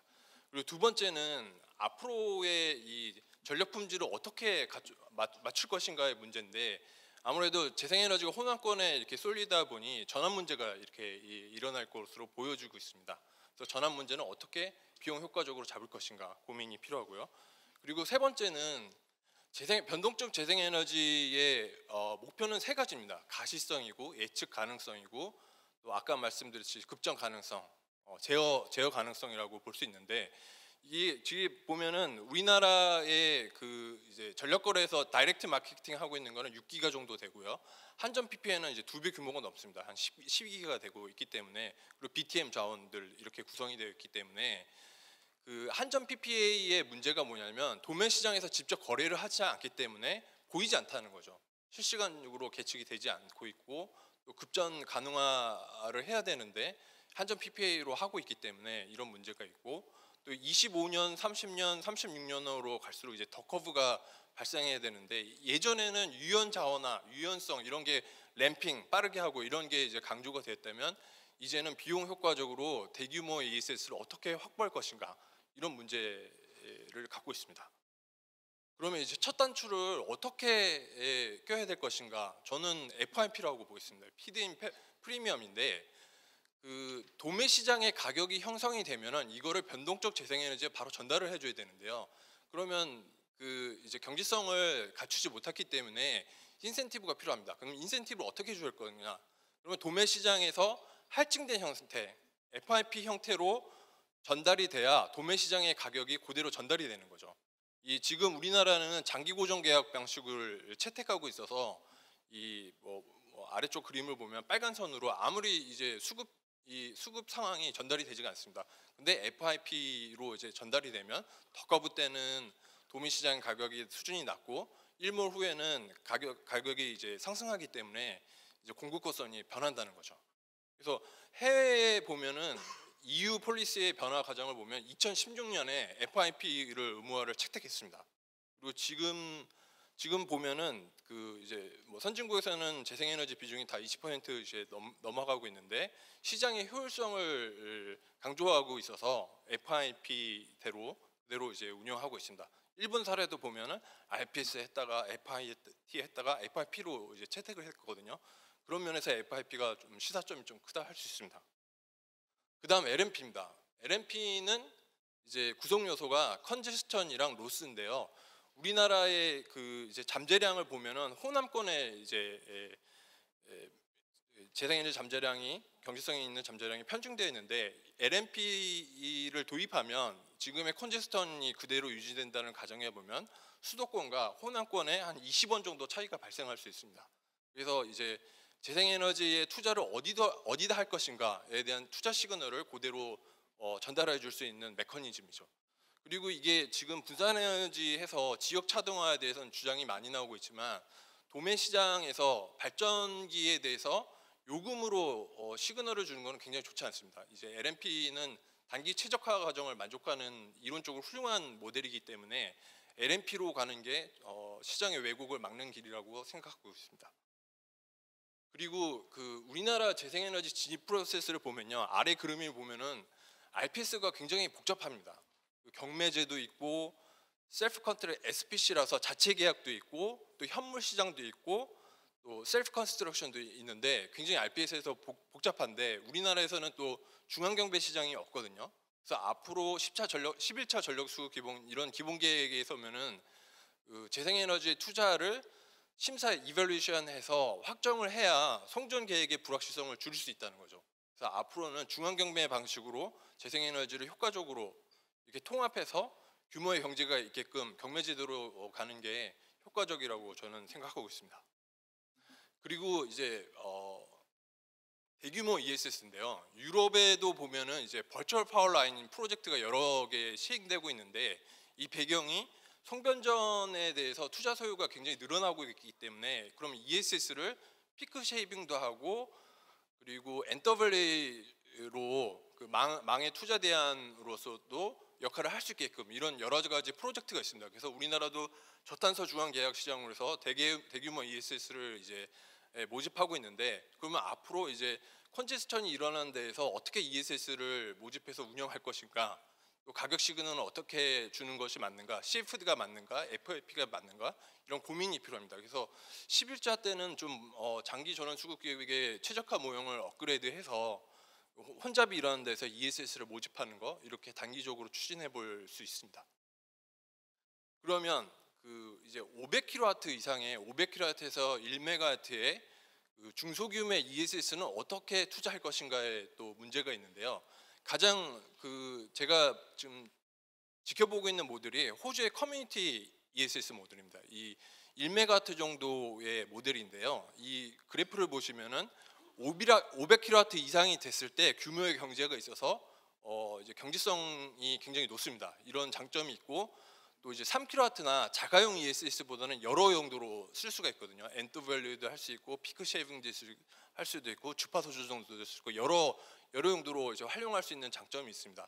그래서 뭐 BC 분석을 하면은 한 1, 1 이상으로 나오는데 사업성은 아직 부족해서 어 이제 보조금을 투입하고 있는데 이 주파수 조정 예비력에 활용하게 된다면은 사업적인 측면에서도 이제 경제성이 올라간다는 이제 보고서가 있습니다. 그래서 우리나라도의 어떤 지역별 전환 문제가 이제 가시화되면은 이런 호주의 커뮤니티 배터리 모델을 생각해보고 또 초기의 사업성을 만약 어, 회복하기 위해서는 갖추기 위해서는 주파수 조정 예비력으로 활용할 수 있게끔 적극적으로 좀 시장 제도를 갖춰 나갈 필요가 있습니다.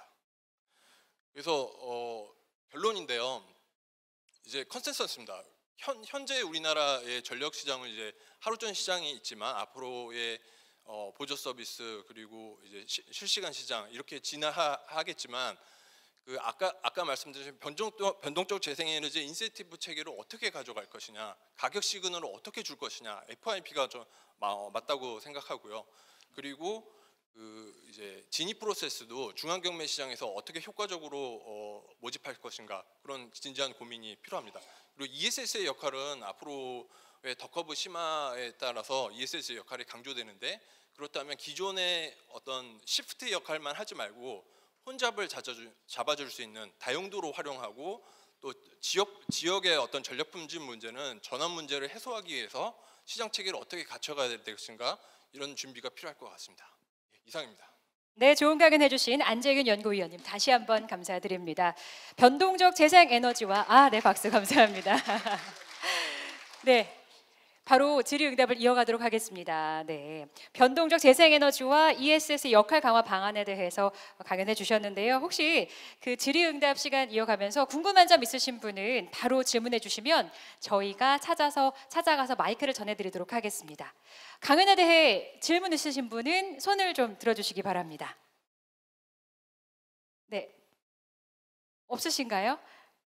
아, 네, 저기 계십니다. 마이크 전달 부탁드립니다. 네, 안 박사님 뭐 강의 잘 들었고요.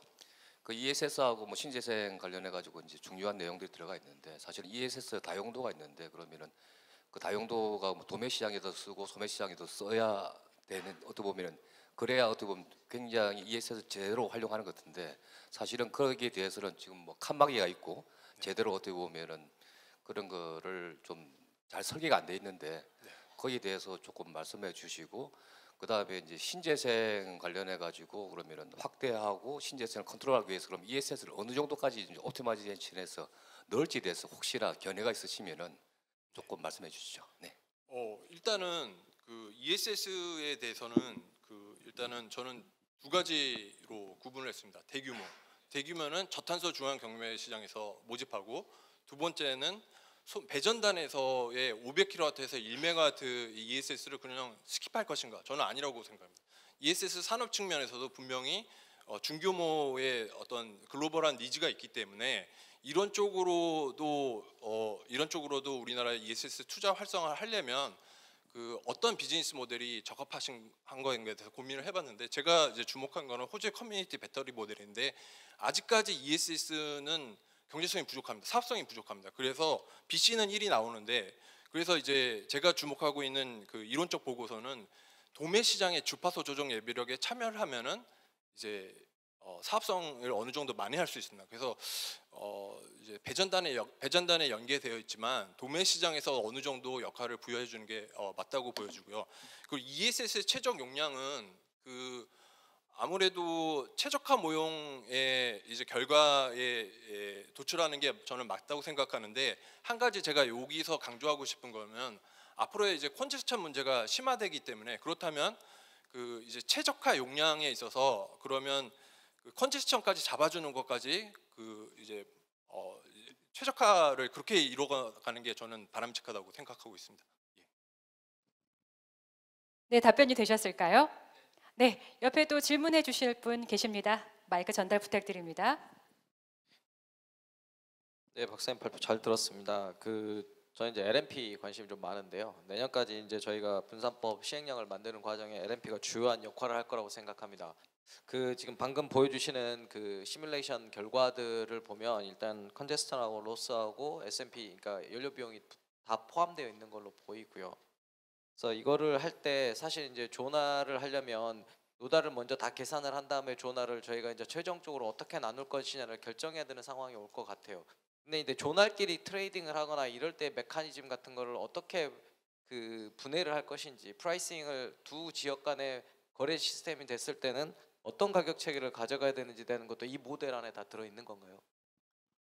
어, 교수님의 그 질문이 굉장히 그 어드밴스된 건데 그 일단은 제가 답변 드릴 수 있는 거는 그 처음부터 노달로 갈 수는 없고요. 이제 존으로 가야 되는데 그렇다면 우리나라의 개통 상황을 고려했을 때 어떻게 존을 나눌 것인가 이게 저는 더 중요하다고 보여지거든요. 그래서 어 뭐 전력거래소의 그 전문가의 의견을 보면은 여섯 개 권역으로 어 하고 있고 또 이제 실행 단계에 있어서 이해관계자들이 받아들여져야 되거든요. 그래서 어 일단은 zone으로 그 어떤 이해관계자들이 쉽고 이해하고 시장 시장의 원칙이 투명하게끔 설계되는 게 좀 중요하다고 생각합니다. 그 후에 시장이 성숙이 되면은 nodal로 가는 게 최종 목표라고 저는 그렇게 생각하고 있습니다. 네, 질문 감사합니다. 또 혹시 질문 있으신 분 계실까요? 네, 없으시면 마무리를 하도록 하겠습니다. 좋은 강연과 답변까지 열심히 해주신 안재균 연구위원님께 여러분 다시 한번 큰 박수 부탁드립니다. 고생하셨습니다.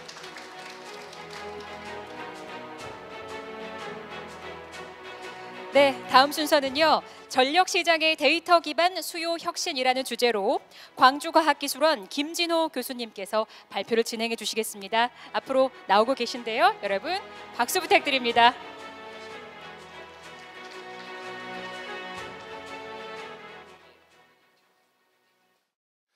네, 안녕하세요. 예, 소개받은 지스텍 김진호 교수입니다. 어, 저는 오늘 전력시장 혁신과 관련해서 어, 수요 측면에 어떤 혁신이 필요할지 어떤 혁신이 예상되는지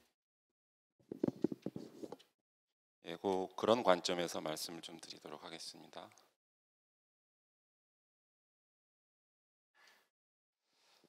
어, 전력 시장의 혁신은 이제 앞으로 다양한 분야에서 예, 여러 가지 형태로 일어날 거라고 예상을 하고요. 역시 이제 전기를 생산하는 에너지를 생산하는 부분과 그다음에 융통하는 망 부분, 그다음에 어, 소비하는 예, 이 수요 부분에 있어서 다양한 혁신이 필요할 거라고 보고요. 어, 이 슬라이드는 그래서 음, 우리가 탄소 중립을 이제 실현하고 어, 성공적인 에너지 전환을 위해서는 어, 수요 쪽의 혁신, 소비 쪽의 혁신이 역시 가장 중요한 어, 수단 중의 하나라고 어, 생각을 하고요. 그 이런 소비 혁신이 우선적으로 이루어져야 그 실제로 공급 쪽이나 망 쪽의 혁신에 어, 부담들을 덜어낼 수 있다 이렇게 생각을 합니다. 그래서 현재 우리나라의 이제 소비 상황을 간략하게 나타내는 이제 지표 중에 하나가 이제 에너지 원단인데요.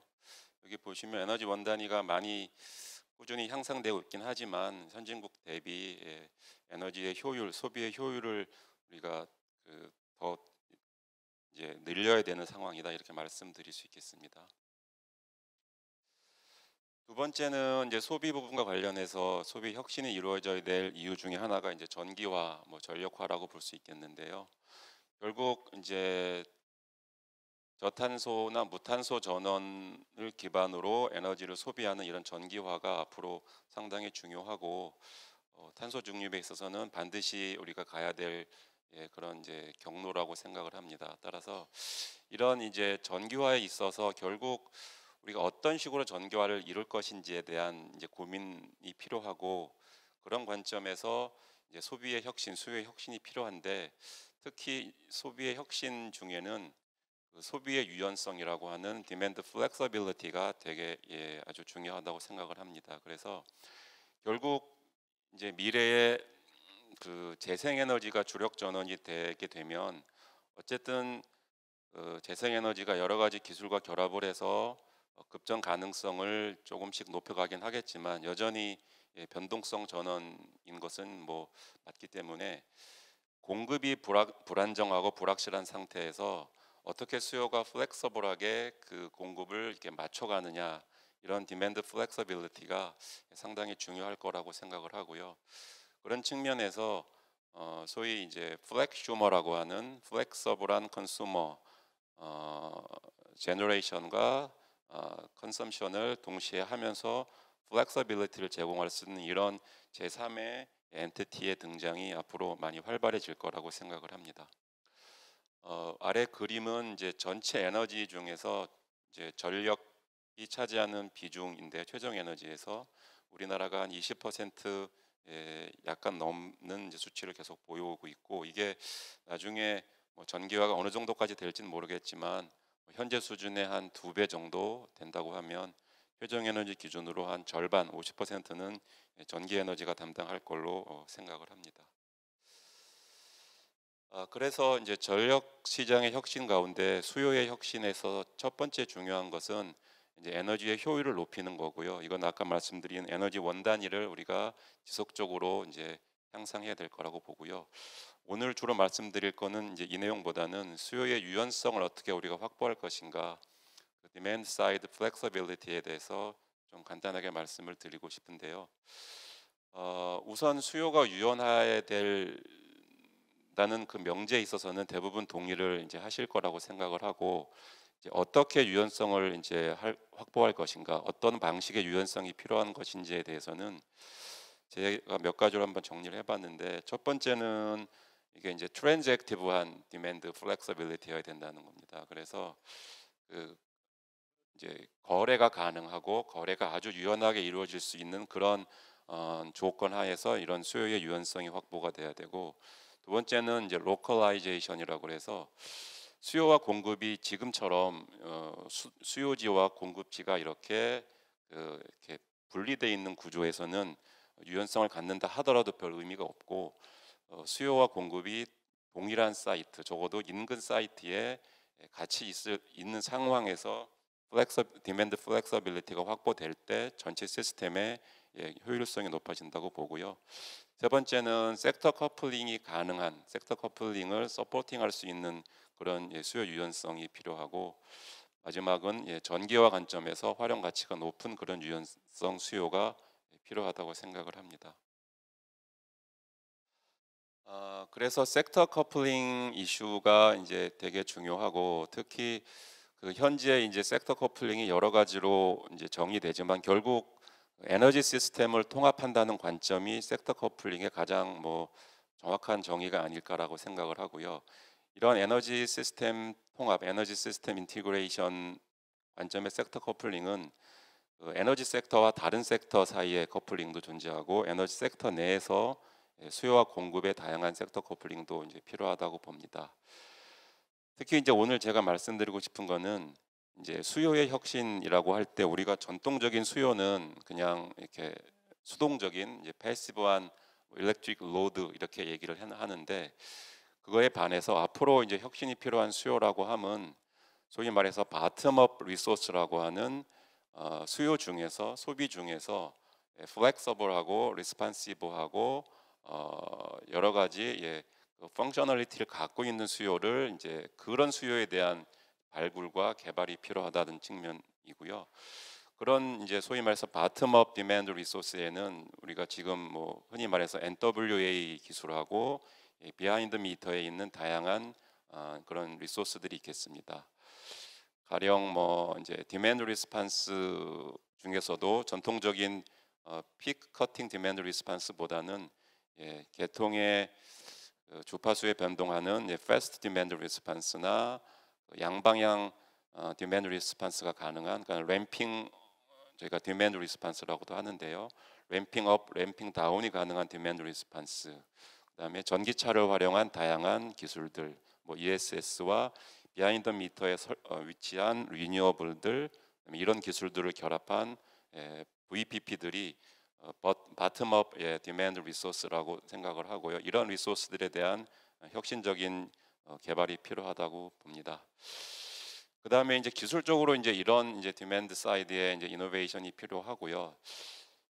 동시에 이제 좀 정책적으로 보자면 어, 이 demand resource에 대한 전반적인 governance에 대한 좀 재정립이 필요할 것 같습니다.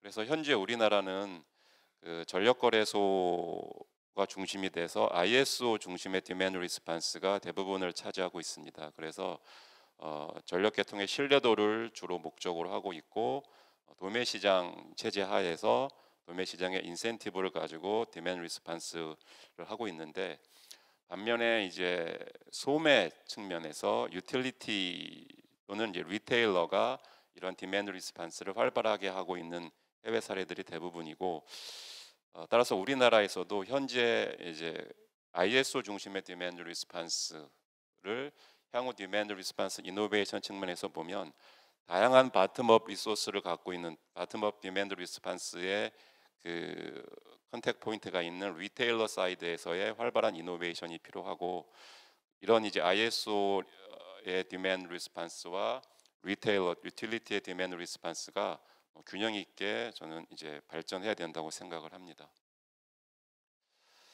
어, 실제로 이러한 이제 좀 혁신적인 demand response나 demand innovation이 이제 우리가 그런 자원들을 갖게 되면 어, 소위 말해서 이제 재생에너지의 그 초과 발전, over generation 문제를 해결하는데 이런 기술들이 쓰일 수 있고요. 현재 뭐 다양한 기술과 제도들이 실증이 되고 있습니다. 그래서 전기차를 중심으로 한 mobility sector, 그다음에 히트 펌프, 그다음에 뭐 수소 또는 뭐 전기 보일러 등과 같은 다양한 sector와의 coupling을 통해서 어, 이러한 demand side의 innovation이 전체 전력 계통 안정화에 기여할 것으로 생각을 합니다. 두 번째는 그 우리 시장이 이제 이제 내년 2월을 이제 시작으로 새로운 시장을 이제 어, 시작하게 되는데요. 뭐 여러 가지 시장이 도입이 됩니다. 그 중에 하나가 뭐 2월 달에는 어, 아니지만 향후 이제 양방향 시장으로 우리 시장이 전환이 되고 어, 결국 이제 수요도 이제 현재와 같이 예측에 의한 이제 개발이 아니라 수요 입찰을 통해서 전력 시장에 본격적으로 참여하게 되는데요. 이럴 경우에 demand side에 대한 innovation이 반드시 필요하고 그런 것들을 통해서 전체 시장의 효율성을 높일 수 있을 거라고 봅니다. 또한 demand side bidding을 하는 retailer 입장에서는 그 당연히 이제 그 겪게 되는 이제 위험이 존재합니다. 이런 재무적 위험이 존재할 때 이 위험을 관리하는 수단으로서 demand side innovation이 활용되고요. 뭐 물리적인 risk hedging을 위해서는 실제 demand response를 그 자원을 활용하는 게 있고 어, 재무적인 risk hedging 수단으로서는 뭐 공매도를 한다든지 뭐 swap contract을 한다든지 뭐 다양한 방식으로 어, 전력 시장에서 retailer의 예, 이런 재무적 위험들을 hedging할 거라고 봅니다. 그런데 제가 이제 이제 마지막으로 말씀드리고 싶은 게 이런 demand side의 이제 innovation이나 flexibility는 과거에는 이런 정책이나 제도를 우리가 설계하고 또 시행하는 데 있어서 어, 사- 다분히 이제 이론적이고 그다음에 좀 경험적이고 직관에 의한 이런 방식을 취했습니다. 그런데 현재는 전 세계적으로 뭐 저희 전력 분야 분야뿐만 아니라 모든 연구계가 이 데이터 기반의 연구로 이제 많이 전환이 되고 있고 따라서 제 생각에 이런 demand side innovation도 과거의 전통적인 approach에 더해져서 데이터에 기반한 data driven approach가 이제 필요할 거라고 보고요. data driven approach라고 하는 거는 우리가 어떤 이제 정책이나 제도를 설계하는 데 있어서 어, raw data를 기반으로 이 raw data를 다양한 그 매스메릭을 통해서 이제 분석을 해내고 그걸 통해서 가장 중요하다고 할 수 있는 예, data set을 만듭니다. 그래서 이 data set을 가지고 우리가 다양한 정책적 이제 실험을 하고요. 이 실험이 끝나면 조금 더 큰 규모로 파일럿을 하고 이런 파일럿들을 더 대규모로 함으로써 우리가 아주 안정적이고 성공적인 정책 제도를 만들어내는 이런 이제 구조를 가, 이제 가져가게 가게 될 거라고 보고 어, 우리도 그런 측면에서 demand side innovation이 이런 이제 approach를 채택할 거라고 봅니다. 그래서 저희가 이제 이런 관련된 연구를 한 결과를 좀 몇 가지 이제 실었고요. 이거는 그냥 참고하시면 될 것 같습니다. 그리고 이제 이런 bottom-up demand side resource를 분석하는 데 있어서는 전통적인 해석 방법도 물론 어, 유용하지만 소위 말해서 이제 agent based model이 상당히 이제 유효하다 그리고 효과가 있다라고 이제 판단을 하고요. 현재 이런 이제 작은 규모의 기술들, 작은 뭐 전기차라든지 뭐 small renewable이라든지 아니면 뭐 small ESS와 같은 이런 나중에 향후에 이제 대부분의 이제 많은 양의 이제 시, 어, 자원 기술들이 등장할 이런 기술들을 분석하는 데 있어서 어떻게 이 기술들이 이런 자원들이 이렇게 behave 할지를 이제 우리가 모델링하는 게 필요하고요. 그 모델링에 있어서 이런 에이전트 기반의 모델 모델링 방법을 쓰고 결국 이런 모델링을 통해서 전체 전력 계통과 전력 시, 어, 전력 시장에 어떤 영향을 미치는지를 이제 해석해내는 그래서 결과적으로 최종적으로 그 이런 이제 demand side innovation을 더 극대화하기 위한 정책과 제도를 다시 새롭게 제안하는 네, 이런 식의 그 방식을 취하게 될 거라고 생각을 합니다. 그런 측면에서 이런 새로운 approach도 우리가 demand side 혁신에 있어서는 어, 필요하지 않을까 생각을 합니다. 뭐 그 예를 하나 들었는데 이건 뭐 시간 관계상 제가 생략을 하겠습니다. 예, 결론 맺도록 하겠습니다.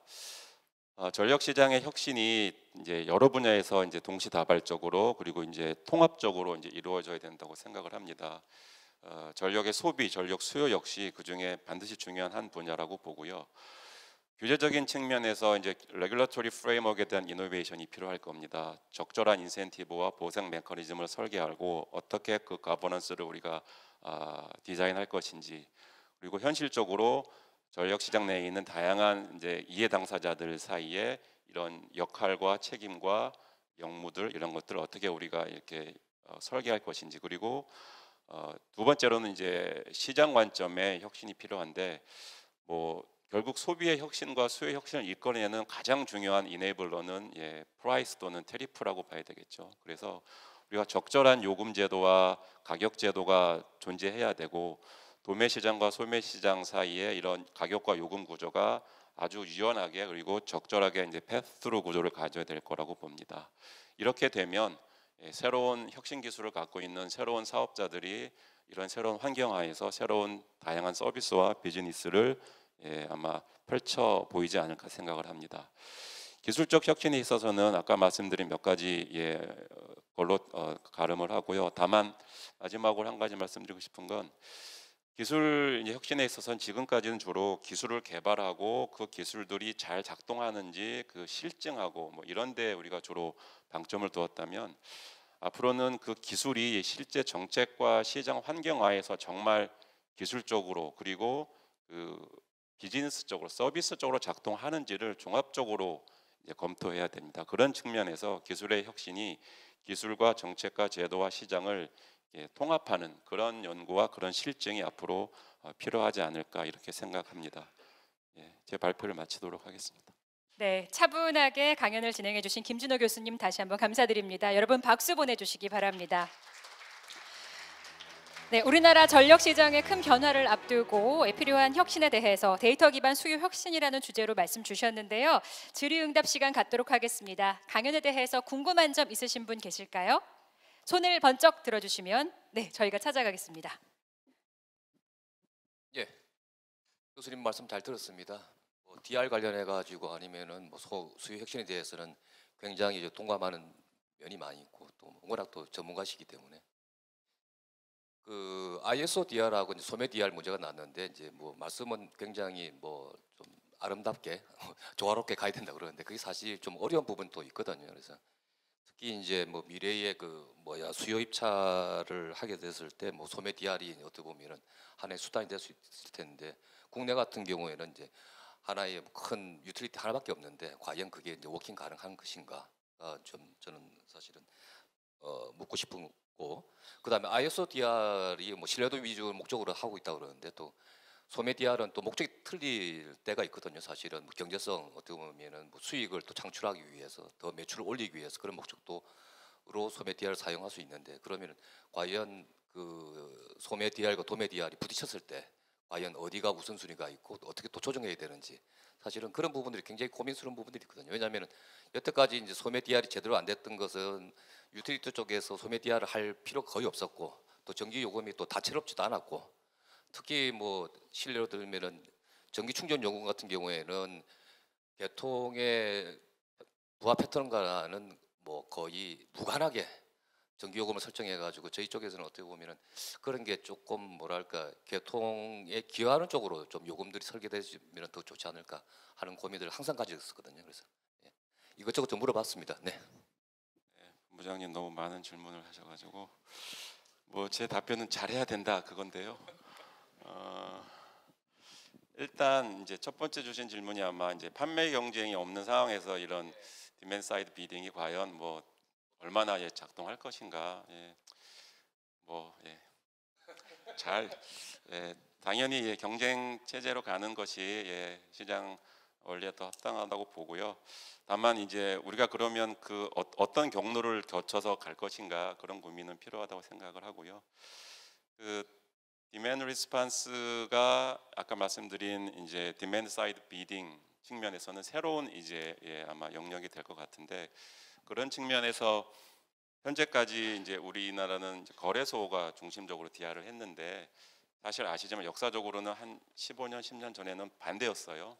한전만 하다가 다시 완전히 100% 이제 거래소가 됐는데 이제 거쳐서 저는 이제 결국에 한 50% 50%씩 ISO는 신뢰도 중심의 DR을 하고 그리고 예, 리- 리테일러는 경제성 중심의 DR을 하는데 말씀하신 것처럼 두 개가 이제 문제가 생길 수 있습니다. 예, 컨플릭이 생길 수 있고 실제 그래서 PJM 같은 경우도 그 ISO가 그래서 경제적인 DR을 다 손 놓지는 않고요. 예, 적절하게 협업을 합니다. 그래서 우리도 그런 구조로 갈 거라고 보고 뭐 그렇게 돼야 되지 않나 생각을 합니다. 네, 또 질문 있으신 분 계셨죠? 네, 질의응답 이어갈게요. 어, 교수님 잘 들었습니다. 그래도 이제 박창민 전무입니다. 어, 저희가 지금 공급 측에 재생에너지가 많이 늘어나는 문제가 어, 수요 측에서도 곧 일어날 텐데요. 어, 실제 저희가 보면은 이제 그 DR이라는 게 10년이 진행됐습니다. 됐는데 사실 그 2008년도에 퍼크 쪽의 자료를 보면은 전체 DR이 어, 전체 수, 수요의 어, 한 20%까지를 줄일 수 있습니다. 그래서 저희 우리나라를 보면은 현재 한 5% 6%에서 멈춰져 있는데 사실은 어, 전체적으로 어, 후반부에 있는 15% 정도는 실제 수요 측에 있는 교수님이 말씀하셨던 그 bidding 쪽 이쪽을 하시는데 제가 알기로는 미국 쪽이나 FERC 쪽에는 bidding보다는 그 demand side 쪽에는 상당한 그 변화가 있는데 실제 그 demand side 쪽에 보면은 어, 디지털화가 많이 되어 있습니다. 실제 대부분의 뭐 우리가 쓰는 뭐 냉난방이라든지 아니면 모든 새로운 장비가 다 디지털화되어 있는데 이 디지털화되어 있는 부분에 대해서는 사실은 bidding보다는 demand 쪽에 있는 컨트롤 부분, 컨트롤이 충분히 가능하고 디지털화가 되어 있거든요.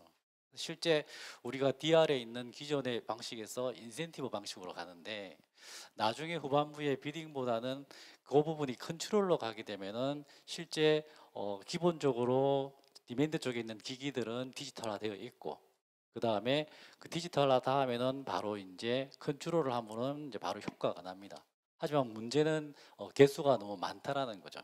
그래서 그런 부분을 지금 교수님께서 말씀하셨던 에너지 차원에서 전체적으로 bidding을 가는 방법을 제시해 주셨는데 실제 데이터 쪽에 있는 쪽에 디지털 쪽으로 보게 되면은 그 부분에 대한 정확한 measuring 그다음에 어, 아주 작지만 개수가 많은 부분에 대한 measuring하는 부분하고 데이터에 대한 사용량을 gathering하고 그다음에 거기에 대한 이제 accounting을 하고 컨트롤 하는 이 부분이 실제 시뮬레이션이 아니고 실제 하고 있거든요.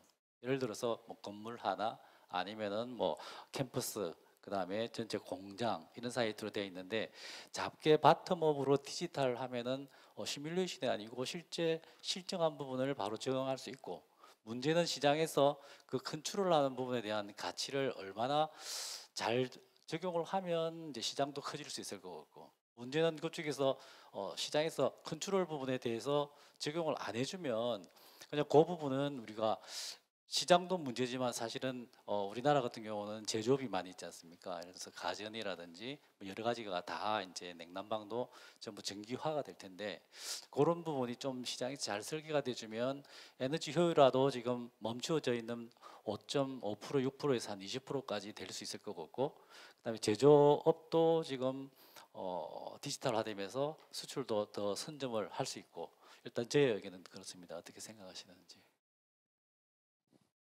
네, 그렇게 생각합니다.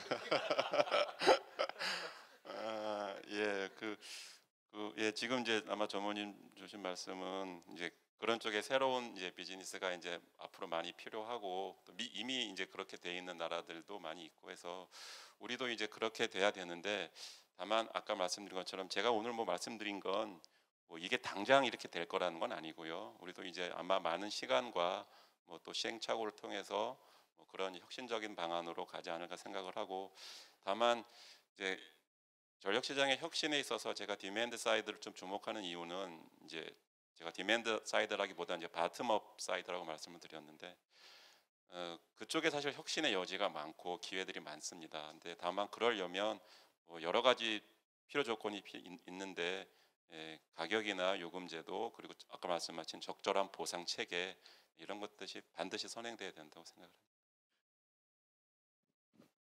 네, 혹시 질문 또 있으신 분 계실까요?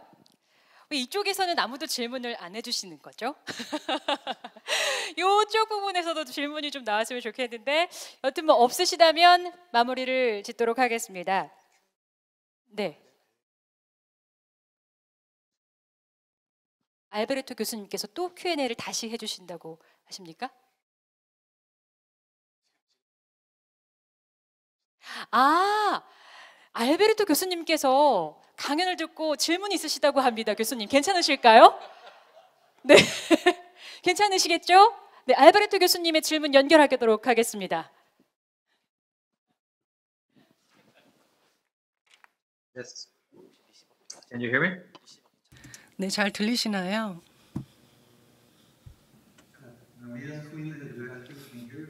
네, 잘 들리시나요? 답 대답해 주실 수 있을까요?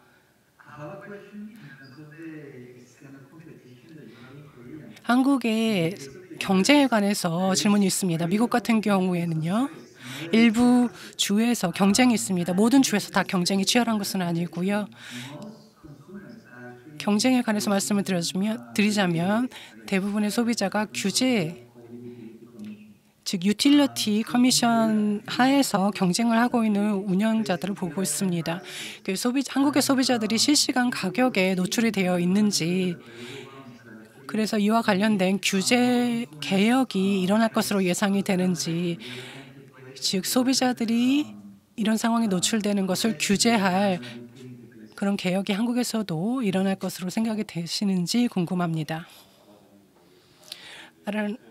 시장이 얼마나 이제 예를 들면 real-time price에 노출되어 있는 소비자들이 얼마나 되고 뭐 이렇게 이제 현재 우리 시장에 대해서 질문하시는 것 같아요. 네, 뭐 우리 시장은 아직 예, real-time price에 예, 노출되어 있는 소비자는 없고 이제 그렇게 말씀드리고 싶네요. 우리가 이제 아직 실시간 시장이 없어요. 그래서 이제 아까 잠깐 우리 아까 이제 세션 2에서 이제 아마 옥기열 처장님이 말씀 자, 많이 하시겠지만 이제 우리가 이제 real-time market도 도입하고 그런 다양한 혁신적인 요금제를 도입을 앞으로 해서 예, 전력 시장의 소위 말하는 혁신과 효율을 더 높일 예정이다. 강력한 예, 추진이 될 거다. 이렇게 답변 드리고 싶습니다. 네, 답변이 잘 되셨을까요? 네, 고개를 끄덕이고 계시는데요. 네. 김준호 Thank you 교수님 very much. 네, 감사합니다. 하셨다고 합니다. 김준호 교수님 강연이 정말 인기가 많은 것 같습니다. 네, 참석자분들의 수준 높은 질문 덕분에 질의응답 시간이 더욱더 알찼던 것 같은데요. 어려우셨겠지만 끝까지 성실한 답변 잘 해주신 김준호 교수님께 여러분 뜨거운 박수 부탁드립니다. 네, 고맙습니다. 네, 오늘 제19회 서울 국제 전력 기술 컨퍼런스에서는 국내외 전력 분야 전문가들을 초청해서 주요 현안에 대해서 분석하고 논의하는 소통의 장이 이루어지고 있는데요. 이 참석자 여러분들의 지대한 관심과 또 활발한 참여 덕분에 이 행사가 더 빛나고 있는 것 같습니다. 자, 첫 번째 세션인 개통 안정화를 위한 전력 시장 개선이라는 주제로 함께 하고 있는데요. 아, 토론 시간을 이어가도록 하겠습니다. 여러분들 많이 기대하셨을 것 같아요. 아, 계속해서 여러분들의 적극적인 참여와 또 경청을 부탁드리면서 저희가 토론 테이블을 준비하도록 하겠습니다. 이어서 토론을 진행해 볼 텐데요. 어, 토론의 좌장을 맡아주실 고려대학교 주성관 교수님 그리고 토- 토론의 패널로 참여해 주실 단국대학교 조홍종 교수님 한국에너지공과대학교 김집 교수님 네, 의자가 준비되는 대로 무대 위로 올라와 주시면 되겠습니다. 네, 여러분 아직 휴식 시간은 아니거든요. 조금 힘드시겠지만 네, 잠시만 준비가 되는 대로 시작을 할 테니까요. 기다려 주시면 감사하겠습니다.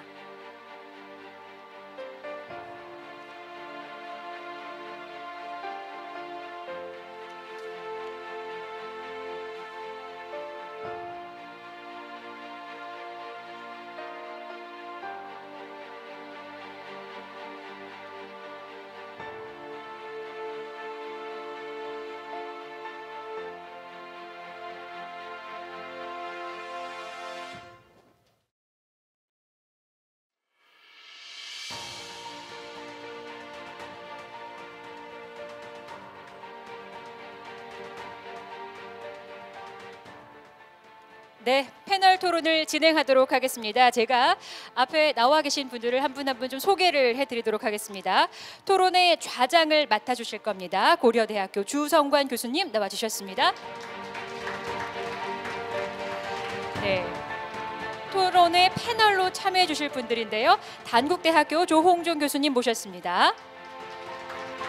그리고 옆에 한국에너지공과대학 김집 교수님도 무대 위로 모셨습니다. 네. 따뜻한 박수 감사드리고요. 그럼 지금부터는 좌장이신 주성관 교수님께 제가 진행을 부탁드리고 마이크를 넘기도록 하겠습니다.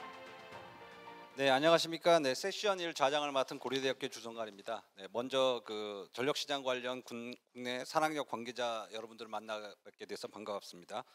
네, 토론에 앞서서 간단히 토론자들을 소개해 드리겠습니다.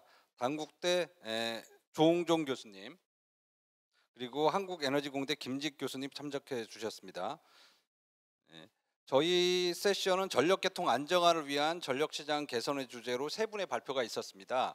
그 첫 번째 발표는 그 미국 리하이대 에, 라마드리드 교수님께서 기존 어, 가족 가격 결정 메커니즘과는 다르게 재생에너지가 많이 확대된 전력 시장에서 새로운 시장 가격 메커니즘 연구 결과를 소개해 주셨습니다.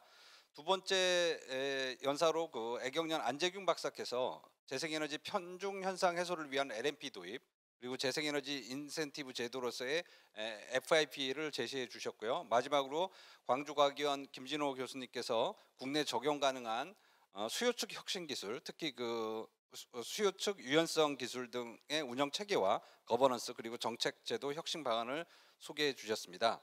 그러면 지금부터는 토론자들께서 이 세 분의 발표 관련해 어, 의견을 말씀해 주시기 바랍니다.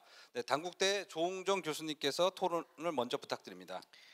네, 제가 시간이 얼마나 주어지나요? 그 저희가 지금 굉장히 많이 지체가 돼 가지고요. 저희가 지금부터 25분 내에 그, 그 패널 토론과 이제 밑에 또 플로어에서 질문도 좀 받. 네, 네. 알겠습니다. 네. 한 10분 안쪽으로 마치도록 네네. 하겠습니다.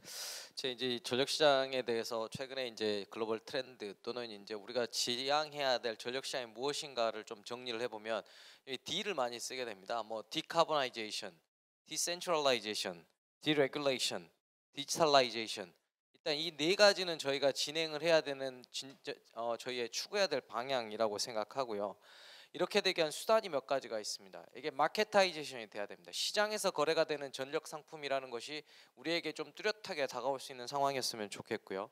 그리고 아까도 제가 질문을 했지만 이런 것에 대한 상품들이 많이 개발된다. 제가 파생 상품도 아까 질문을 했었지만 derivative 같은 것들이 발달하고 또는 턴 마켓에 대한 어떤 계약 구조들이 다양화됨으로써 리스크를 management 할 수 있는 시장이 도래해야 된다고 생각합니다.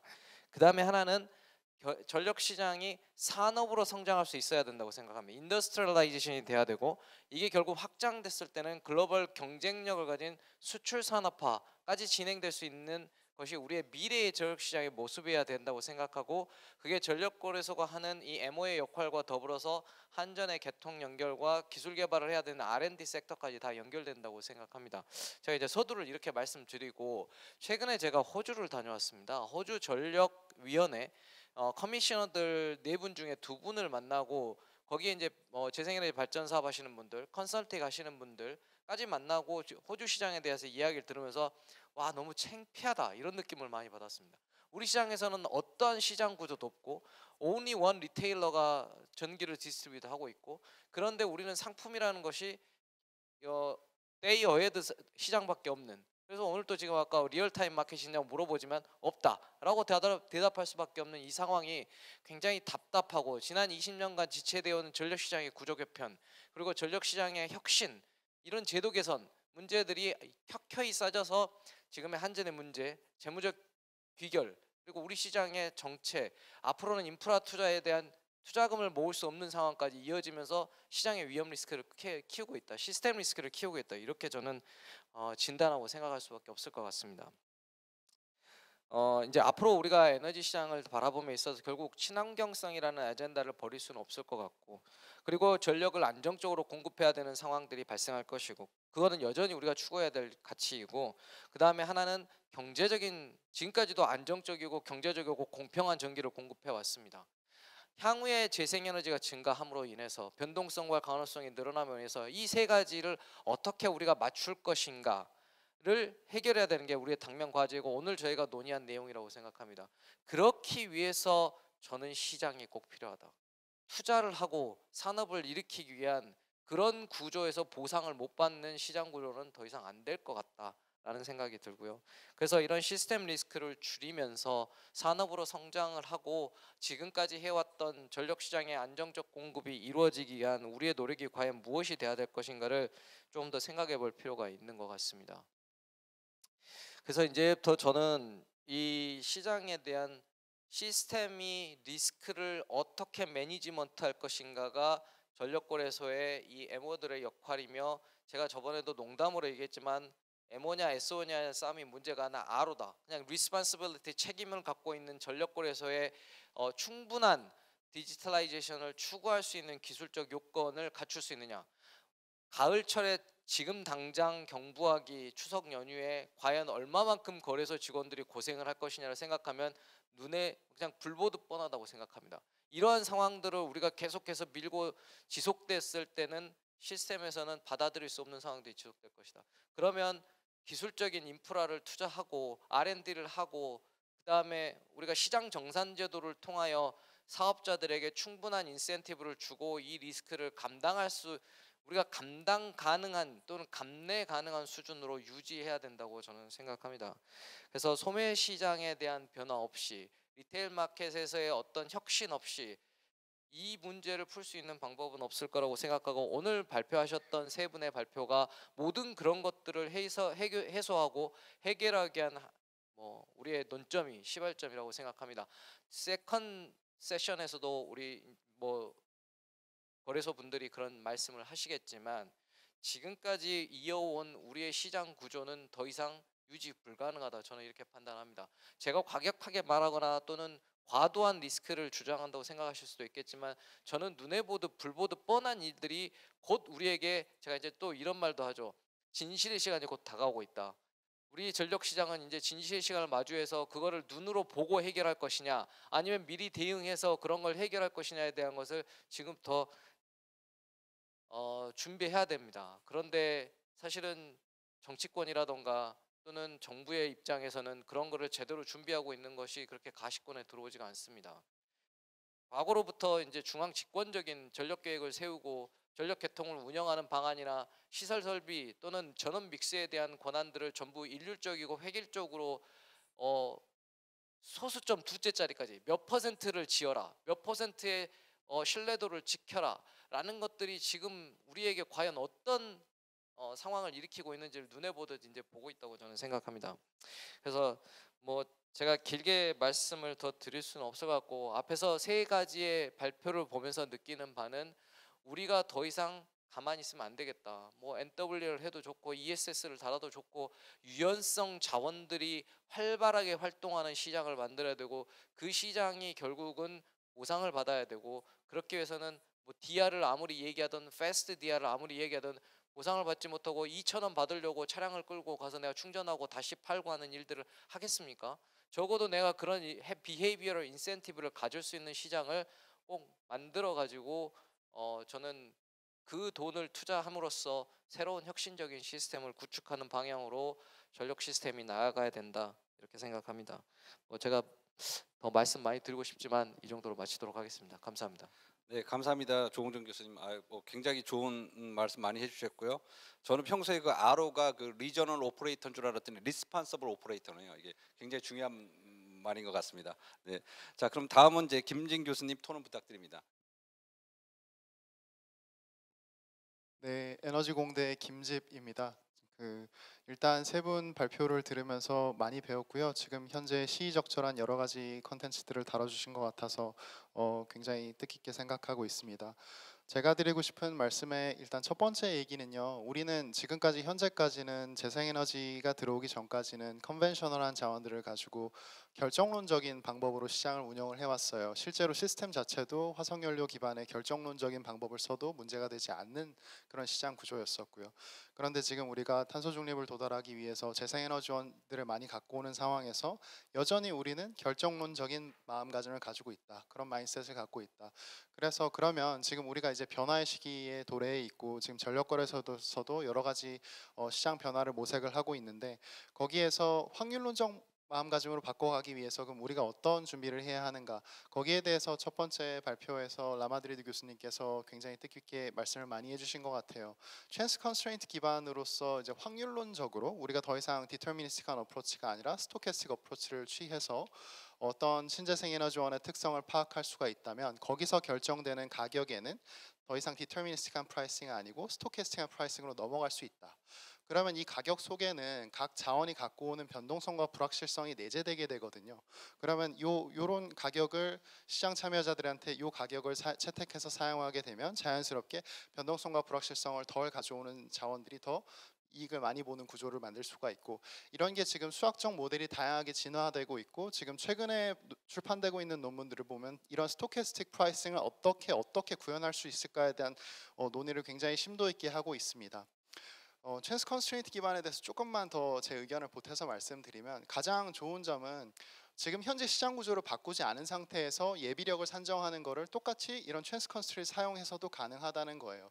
지금 현재 deterministic한 approach에서는 우리가 예비력을 얼마큼 확보하겠다는 걸 정해놓고 그 확보량을 뭐 system operator가 어떻게 할당하느냐 그리고 거기에 대한 이제 보상 체계의 예비력에 대해서 해주는데 stochastic pricing으로 chance constraint 기반으로 가게 되면 이제 실제 재생에너지원별로 예를 들어서 풍력 단지라든지 태양광 단지에 따라서 확률, 확률적 특성이 달라지게 되는데 그 확률적 특성이 달라지는 거에 대한 적합한 예비력 양이 자동으로 요 문제를 푸는데 최적화 모형을 푸는 데서 결정되게 되고 그러면 결국은 불필요한 예비력을 줄일 수 있게 되고 또 시장 참여자들한테 그런 예비력을 충당할 수 있는 자원들에겐 올바른 어, 보상을 해주게 되는 그런 체계로서 넘어가는 그런 수학적 모델링으로서의 역, 어, 의의를 갖는다는 점에서 우리도 이런 거에 대해서 정말 좀 어, 심도 있게 고민을 해봤으면 좋지 않을까 하는 의견을 드립니다. 그리고 두 번째로 이제 연관되는 얘기인데요. 두 번째 그 안 박사님 발표를 들으면서 어, 굉장히 종합적으로 지금 현재 의- 그 일어나는 일들에서 잘 정리해 주셔 정리해 주셨고 그리고 앞으로 어떻게 우리가 가야 되는지에 대해서 잘 말씀을 해주셨는데요. LMP에 대해서 제가 조금만 더 덧붙여서 의견을 드리고 싶어요.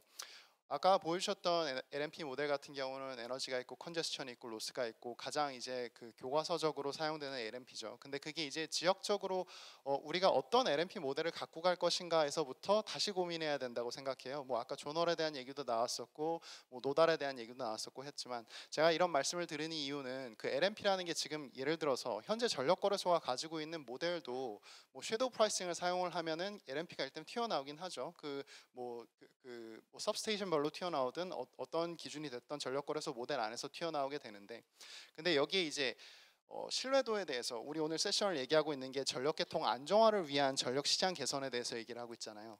그럼 전력 시장을 안정화하기 위해서 이 LMP를 계산을 할 때도 어떤 제약 조건을 반영을 해서 튀어나오는 LMP가 정말 우리가 본- 시장에 보내고 싶은 메시지를 전달을 하는가? 관성 문제가 되면 그 관성을 실제로 수학적 모델링을 해서 관성 제약이라는 걸 걸면 그 관성 가격 자체가 LMP에 포함이 돼서 나올 수도 있고 뭐 다양한 이제 안정도 문제를 수식화하는 문제가 있거든요. 근데 그럼 그게 각각 이해 당사자들한테 발전 사업자들한테 또 유연성 자원을 고려 그 제공해 주는 사업자들한테 올바른 메시지를 지금 전달을 하는 모델이 될 수 있는 것인가 없는 것인가에 대해서 좀 종합적으로 같이 논의를 해볼 필요가 있다는 생각이 들었습니다. 어, 마지막으로 김진호 교수님 발표도 정말 잘 들었는데 요. 제가 이해한 바로는 김진호 교수님께서 전달해 주시고 싶은 메시지는 결국은 비저빌리티에 대한 얘기인 것 같아요. 계통 운영자가 지금 신재생 에너지 원이 많이 들어오는 상황에서 불확실성 변동성이 너무 높아서 운영에 대한 난이도가 올라가고 있는 상황에서 그럼 어디서 더 유연성 자원을 끌고 와야 하는가? 그러면은 그거는 수요 쪽에서 끌고 와야 하는 게 정말 많은 potential을 갖고 있다는 메시지가 key인 것 같고요. 그러면 우리 시장 체계는 어떻게 변화해야 하는가? 어, 예를 들어서 뭐 behind meter도 그렇고요. 아니면 그냥 수요 쪽에서 유연성을 갖고 있는 자원들이 결국은 시장 앞으로 나와서 그게 전력 거래소의 눈에 보이게 계통 운영자 입장에서 눈에 보이게 하는 시장 제도를 만들어야 된다는 메시지가 가장 어, 중요한 메시지인 것 같습니다. 그걸 위해서는 아무래도 소규모 자원들이 모여야 하니까 우리나라에서도 aggregator가 역할이 앞으로 점점 더 중요해질 거라고 저는 개인적으로 생각하고요. 그리고 아까 뭐 질의응답에서 DR에 대한 얘기도 했었잖아요. 잠깐 그 fast DR 얘기를 잠시 해보면은 우리가 최근에 fast DR을 도입을 했죠. 도입을 하면서 그 계통 신뢰도를 위해서 말 그대로 demand response 프로그램을 하는데 지금 현재 운영되는 식은 어, 계통의 주파수가 하락했을 때 under frequency relay로 떨어뜨려서 차단을 하는 방식으로 하고 있는데 이게 일반 수용가들한테는 사실은 어, 납득되기 힘든 운영 방식이 그러니까 일반 수용가한테 하고 있지 않죠. 뭐 그렇지만 여전히 그런 딸- 짧은 time frame에서 수요 측에서도 자원을 끌고 올 수 있는 여력은 분명히 있어요. 그렇다면 aggregator 입장에서는 각각의 수용가들한테 니네가 갖고 있는 time frame이 어느 정도야. 그리고 어느 정도 용량을 할 수 있어. 어느 정도의 benefit을 제공하면 그 유연성을 제공해 줄래 라는 것들을 잘 파악 해서 그게 계통 운영자의 운영 메커니즘에 같이 확대될 수 있도록 그 편입할 수 있도록 시장 제도를 바꿔가는 것이 그게 우리에게 주어진 숙제가 아닌가 그렇게 의견 드리고 싶습니다. 네, 감사합니다. 네, 김지 교수님 감사합니다. 네, 제가 오늘 발표 때도 그렇고 지금 토론 때도 느꼈는데 뭐 chance constrained optimization, 뭐 stochastic pricing 그 굉장히 그 학술적인 내용이 많이 나오더라고요. 제가 이게 사이트에 많이 와봤는데 이름은 컨퍼런스였는데 이런 아카데믹한 내용이 없었는데 오늘은 말 그대로 컨퍼런스 진짜 아카데믹한 컨퍼런스인 것 같습니다. 네, 그 두 분의 토론자분께서 이 세 분의 발표에 대해서 이제 잘 정리를 해주셨고요. 그럼 지금부터는 이제 플로에서 질문이나 의견이 있으면 자유롭게 말씀해 주시기 바랍니다. 질문 시에는 먼저 소속과 이름을 말씀 부탁드립니다.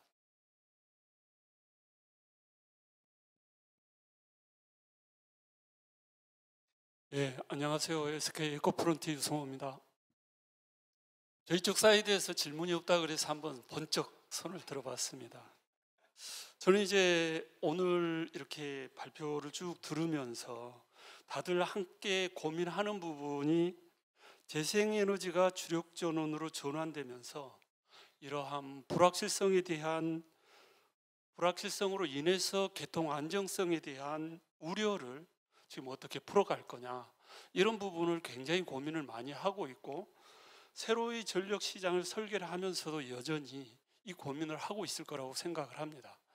그런데 이제 해법을 찾을 때 대개 방식이 경제성과 안정성 사이에서 최적화에 대한 고민을 할 거고 이러한 부분이 새로운 시장을 할 때 설계를 할 때 초기 안정성에 대한 부분은 어떤 나름대로 생각해 본 부분이 지수 감소적인 어떤 함수를 적용을 해서 전력계통의 안정성을 대폭 강화하는 그러한 팩터를 적용하는 방안 이러한 거를 한번 생각을 해봤습니다. 그래서 혹시 뭐 정경 교수님이나 이런 경제적인 관점에서 이러한 팩터를 적용하는 방안에 대해서 어떻게 생각하시는지 궁금해서 한번 질문을 드려봅니다. 네, 감사합니다. 조홍정 교수님 좀 답변 부탁드립니다.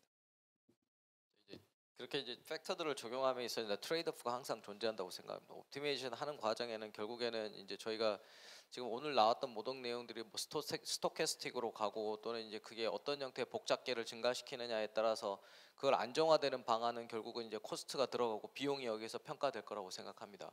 그렇게 됐을 때 저희는 시장 안에서 이거를 해결할 방법이 없습니다. retailer가 하나이고 price는 전국 단일 price를 갖고 있고 아무런 변동성에도 대응할 수 없는 상황이기 때문에 저는 price를 다양화해야 된다. 전력이라는 상품이 결국 시간과 장소와 어디서 사용하는 수요 공급에 매칭되는 상황에 따라서 다른 가격을 가져야 된다라고 항상 주장을 해왔고요. 그런 부분들이 되려면 앞에서 조금 말씀드렸지만 어떠한 변동성에 대응할 수 있는 상품들, derivative가 될 수도 있고 insurance가 될 수도 있고 그게 뭐 어떤 term market의 contract가 될 수도 있겠지만 이런 유연한 자원들을 흡수할 수 있는 시장 제도에서 어, 보상할 수 있는 방안들에 대한 적극적인 방안이 필요해야 돼요. 그러려면 결국 시장이 열려야 된다는 생각을 하고 있습니다. 그렇지 않으면 아무리 도매단에서 이렇게 바꾸고 저렇게 바꾸고 지금 말씀하신 그 좋은 아이디어를 도매가 도매 시장에서 만들어낸다고 한들 가격으로 보전되지 않는 소매 시장에 연결될 수 없는 패스로 할 수 있는 방안이 없다면 아무런 무용지물이라고 저는 생각합니다. 물론 코스트를 다운시킬 수 있는 방법들이 몇 가지 있을 거라고는 생각합니다.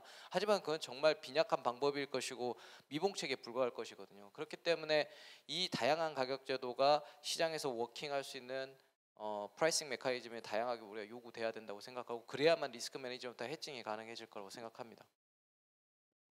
네, 답변 감사합니다. 네, 추가로 질문이나 의견 있으시면 부탁드립니다. 이 앞에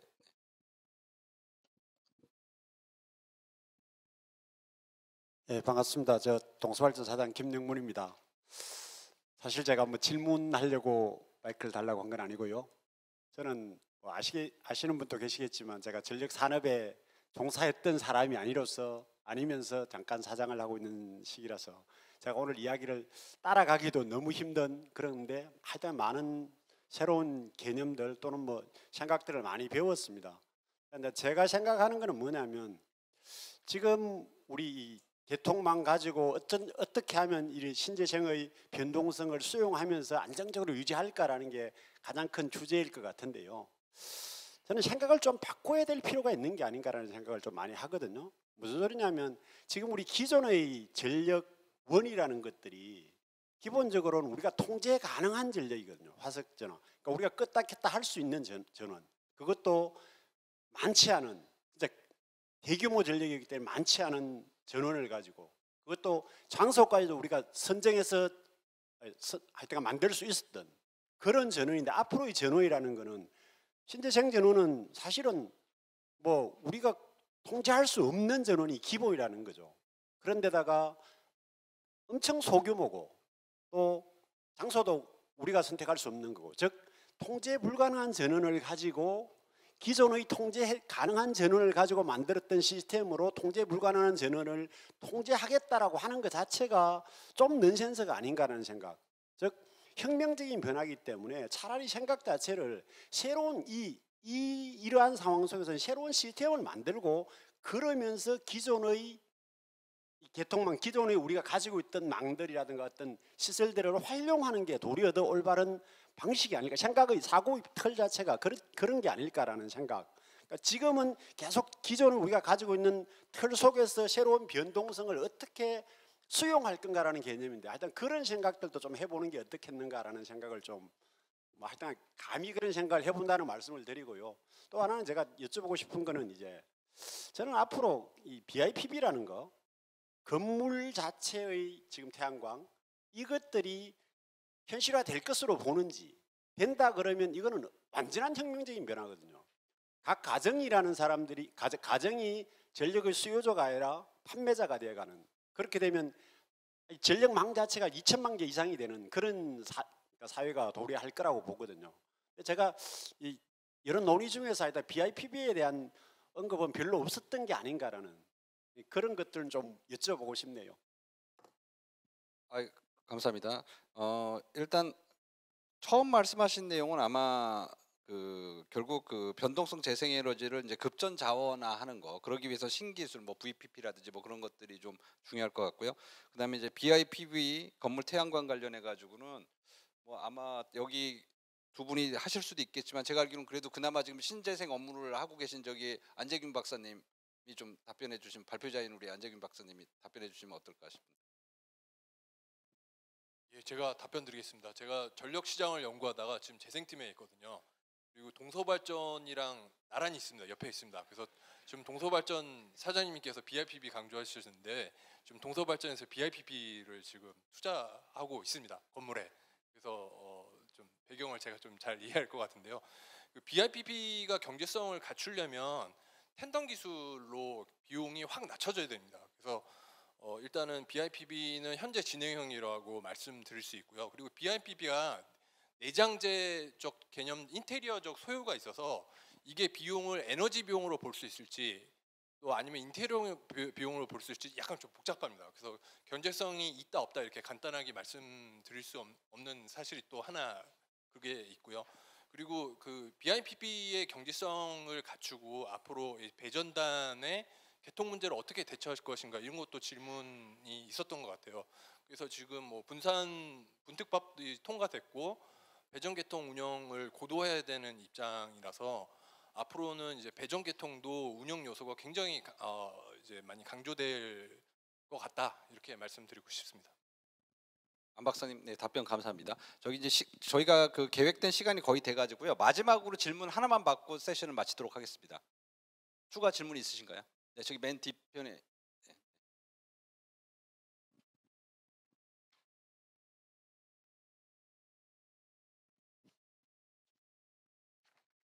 아, 네, 안녕하십니까. 저는 한국전력공사 경영연구원 강도영이라고 합니다.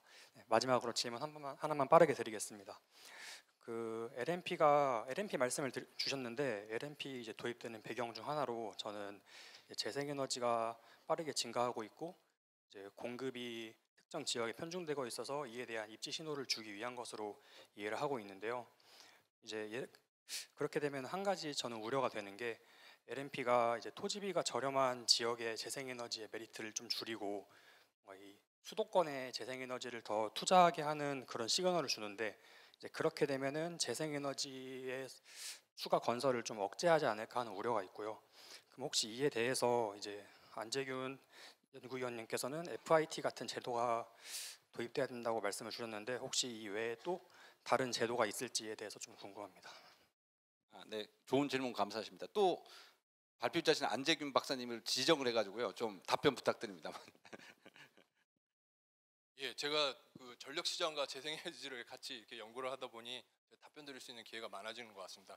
그 LNP에 대해서 말씀을 드리자면 이제 수도권에 그 LNP를 도입하면 S&P가 상승하게 됩니다. 그래서 도매 시장에서 시그널이 그 수도권에 유리하게 작용하기 때문에 재생에너지가 더 수도권에 위치할 수 있게끔 시그널을 주는 거죠. 그리고 FIP랑 LNP랑 결합하게 되면요 더 시너지가 더 높아지게 됩니다. 그래서 호남권에는 그 적정 수준의 인센티브가 주어지고 또 수도권에서는 LNP랑 FIP랑 해서 적정 수준의 그 공급 비용이 결정이 되기 때문에 우리나라의 전체 공급 비용을 낮출 수 있습니다. 그래서 이론적으로 학술적으로도 FIP와 LNP가 찰떡궁합이다 이렇게 평가하는 보고서들이 이론적 그 보고서들이 굉장히 많습니다. 그래서 어 근데 유럽에서는 그 이제 LNP를 도입을 못했고요. 대신에 FIP를 도입했고 또 미국에서는 이제 LNP를 도입했는데 아직까지 이 두 개의 시너지를 갖고 있는 제도를 같이 도입한 국가는 아직 좀 관찰되지 않습니다. 그래서 그런 면에서도 우리나라가 좀 선도적으로 어, 좀 길을 제시할 수 있지 않을까 그런 기대를 좀 하고 있습니다. 그래서 어, 결론을 말씀드리면 학술적으로 평가했을 때 LNP와 IPRP는 굉장히 궁합이 좋은 제도다 이렇게 평가를 받고 있습니다. 네, 답변 감사합니다. 자, 발표자와 토론자분들 모두 고생 많으셨습니다. 좋은 발표와 토론을 해주신 발표자와 토론자분들에게 큰 박수 부탁드립니다. 네, 이상으로 패널 세션을 마치도록 하겠습니다. 고맙습니다. 네, 고려대학교 주성광 교수님께서 좌장으로서 재치 있고 유쾌하게 진행해 주셔서 쉬는 시간 정확하게 거의 맞춰 주셨고요. 토론의 패널이신 조홍준 교수님, 김집 교수님 첫 번째 세션 그 새 연사분의 강연에 대한 내용들 잘 정리해 주셨고요.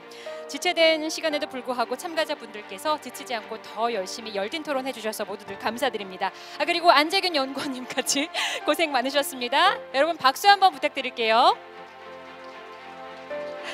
네, 이것으로 첫 번째 세션 패런, 패널 토론을 마치겠습니다. 세션 마무리하고요. 20분 후에 전력 신시장 및 에너지 신사업 활성화라는 주제로 세션 2를 시작하도록 하겠습니다. 온라인으로 시청하고 계신 분들은 유튜브 실시간 채팅창에 본 컨퍼런스 시청 소감과 함께 이메일을 남겨주시면 저희가 추첨을 통해서 커피 쿠폰을 드리고 있으니까요. 많은 참여 부탁드리겠습니다.